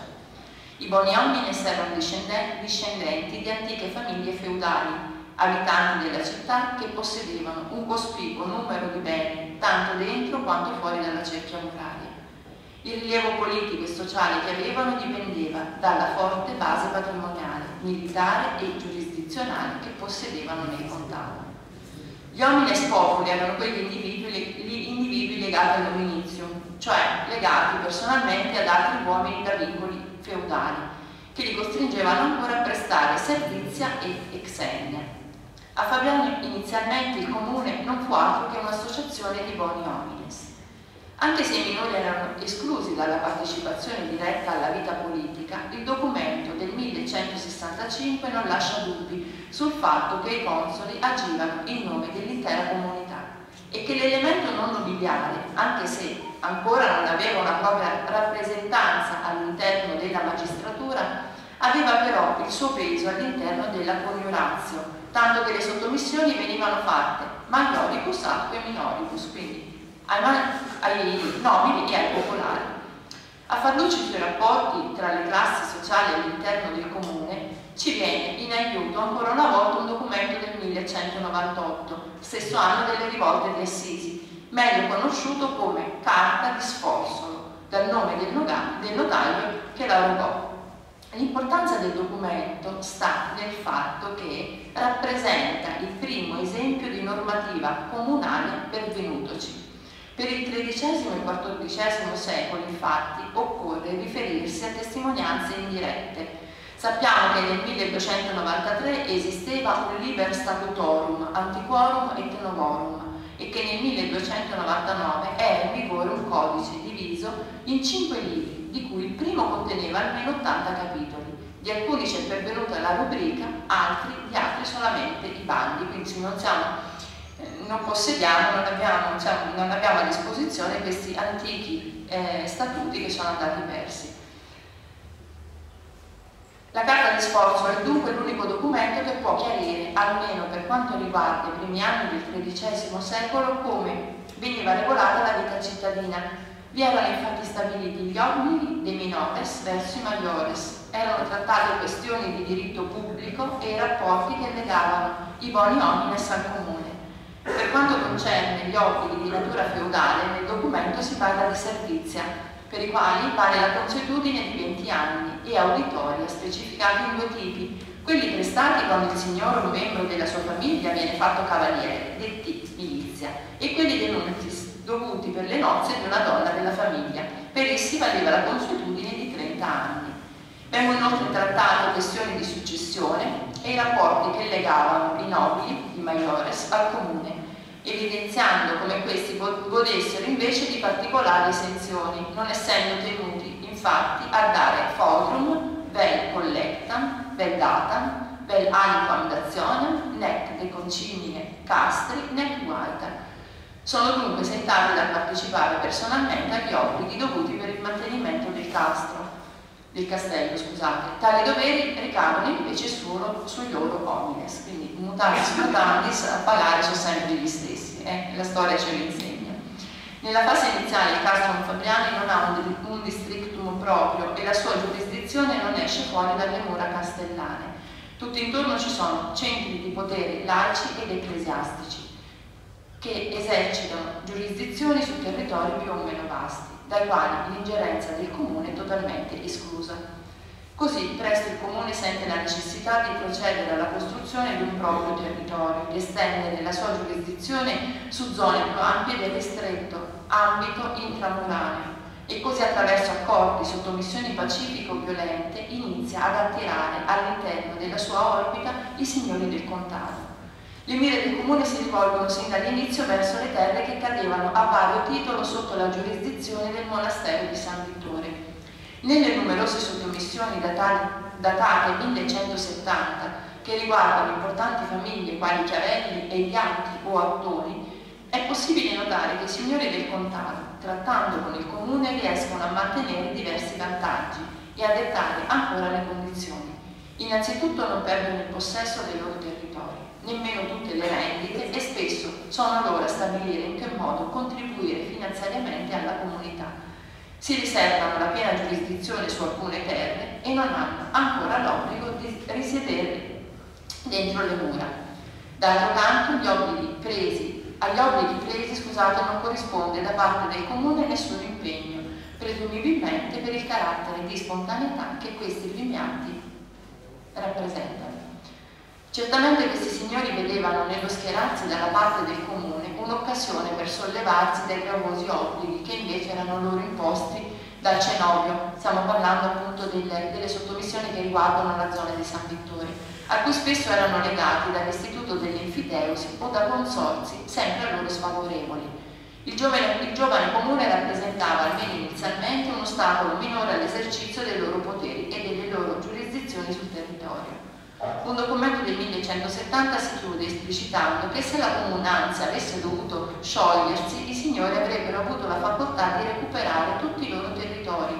In qualunque tempore sopravicto comunale sedis comunaverit, nos omnes sopravicti comunium recuperavimus cum bona fide sine fade. Dopo essersi assicurato il confine settentrionale, le mire del Fabriano si rivolgono verso sud-est, dove il comune di Matelica stava tentando a sua volta di ampliare i propri confini. La zona compresa tra il bacino, Cerreto e Matelica era dominata da eh, un altro ramo della, della, potente famiglia degli Attoni. Il Sassi, nei rami favranesi degli Attoni umbri, li fa derivare tutti dalla stessa stirpe nocerina, i quali nel 1160 erano venuti a patti con la comunità matelicese, con la quale però non sempre erano riusciti a mantenere buoni rapporti. A testimonianza di tali rapporti la sottomissione del 1191 in cui Alberico di Morico, Artone di Trasero, Artone di Alberico e Rolando di Morico dichiarano di farsi castellani di Fabriano. Cedono alcuni territori, si impegnano a difendere il comune contro tutti, eccetto contro il comune di Matelica. Nel documento si legge eh, facciamo guerra il dispendium pro comuni contra omnes persona, eccetto comuni matelice. C'è da dire che le ostilità con il comune non tardarono, con il comune di Matelica non tardarono ad arrivare, soprattutto dopo che Fabriano esercitò le sue mire espansionistiche sull'importante castello di Collamato. Il trattato di alleanza con la città di San Severino e la Lega con numerose città fino a Recanati e Civitanova lasciò poche speranze a Matelica, che non riuscì a resistere a lungo, infatti nell'agosto del 1199 la resa fu totale. Questa fu la prima grande vittoria politica in politica estera della diplomazia comunale fabrianese. Nel 1202 per la prima volta viene attestata la presenza di un podestà, si chiama Calcedonio, e parallelamente all'evoluzione delle istituzioni è possibile notare un modo diverso di porsi dell'autorità comunale nei confronti del contado. Queste tappe che sto riassumendo sono tappe che non riguardano solamente il comune di Fabriano, ma sono eh, ripercorribili e le ritroviamo pressoché identiche in tutti i comuni della fascia dell'Italia centrale. Le condizioni imposte negli atti di sottomissione si fanno più pesanti sia in ambito fiscale che militare, ma la vera novità risiede nel fatto che il Comune tende ad una sostituzione effettiva delle giurisdizioni locali con giurisdicenti cittadini. La direttrice questa volta è quella verso nord-est, cioè verso Sassoferrato, in un documento del 1209 si viene a conoscenza che il comune era intervenuto militarmente per il controllo del castrum di San Donato, arrivando persino a distruggerlo. Siamo in presenza della fase della conquista del contado che, che avviene a mano.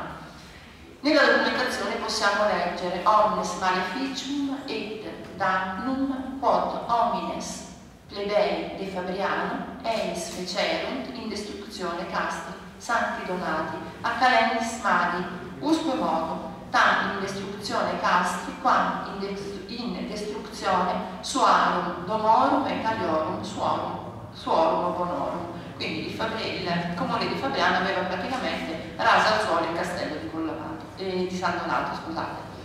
Segue nel 1211 la sottomissione del potente appigliaterne di Guarniero del conte Atto, signore di Cerrito, le sottomissioni si susseguono numerose, vado veloce perché penso che sia ora quasi di concludere, si susseguono numerose in quegli anni fino a comprendere da ultimo le terre verso il crinale appenninico in Umbria, dove vale la pena fare un cenno alla potente rocca d'Appennino, le cui carte, come prima ricordavo, furono registrate da Romualdo Sassi nel 1929.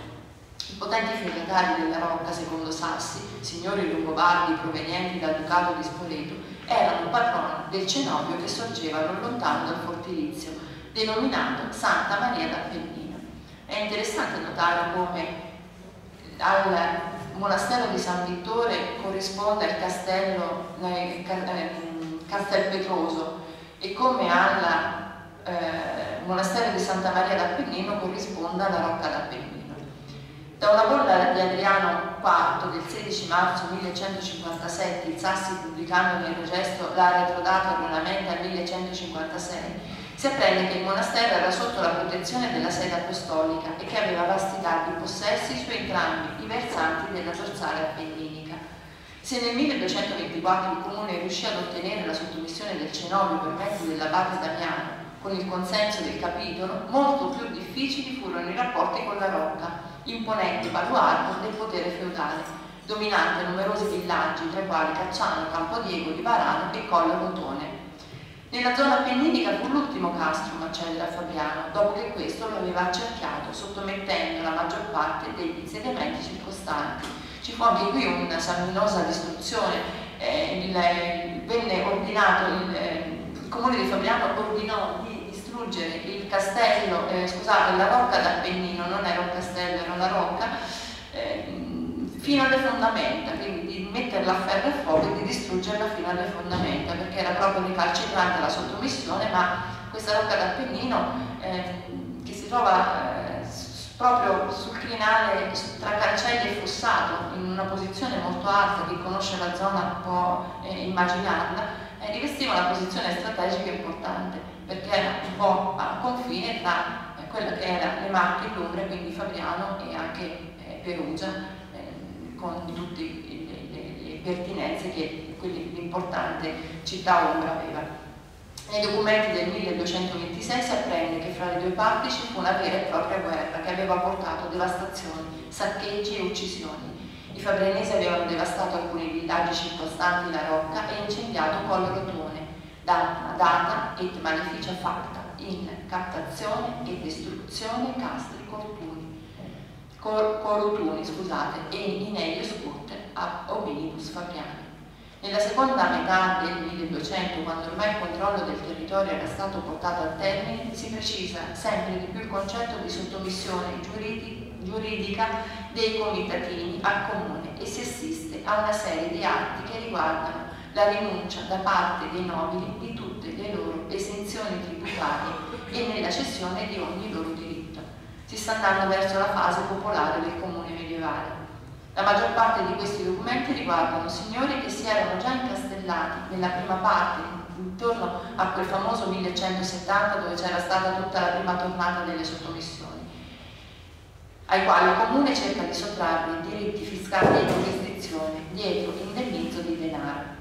La contestuale politica di affrancazione, chiaramente usata in funzione antifeudale e antimagnatizia, cioè oltre a togliere le giurisdizioni a questi nobili, il comune tende a togliere anche gli uomini che questi avevano, facendoli eh, venire eh, ad abitare all'interno delle mura, secondo una politica che era una, una, politica di manomissione di questi servi, chiamiamoli homines, servi chiamati come vi pare, erano comunque uomini soggetti a dei, a dei servizi, quindi erano no, servi in qualche modo, è tipica di tutti i comuni dell'Italia dell centrale e serviva al comune sia per appunto intraprendere questa politica antimagnatizia sia per aumentare il numero dei contribuenti cittadini.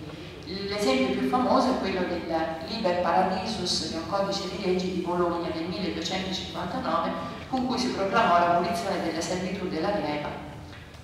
Di fatto però questi poveri uomini andavano, cadevano dalla padella alla brace, perché, perché chiaramente una volta inurbati all'interno del comune, il comune esigeva da loro dei tributi che erano molto importanti e eh, queste grandi manomissioni, quindi questi grandi eh, diciamo, mm, ingressi all'interno della città della popolazione eh, diede vita a una schiera di, di, poveri e indigenti che poi sarà, diventerà eh, molto molto ingenti soprattutto tra la fine del XIII e i primi del XIV secolo.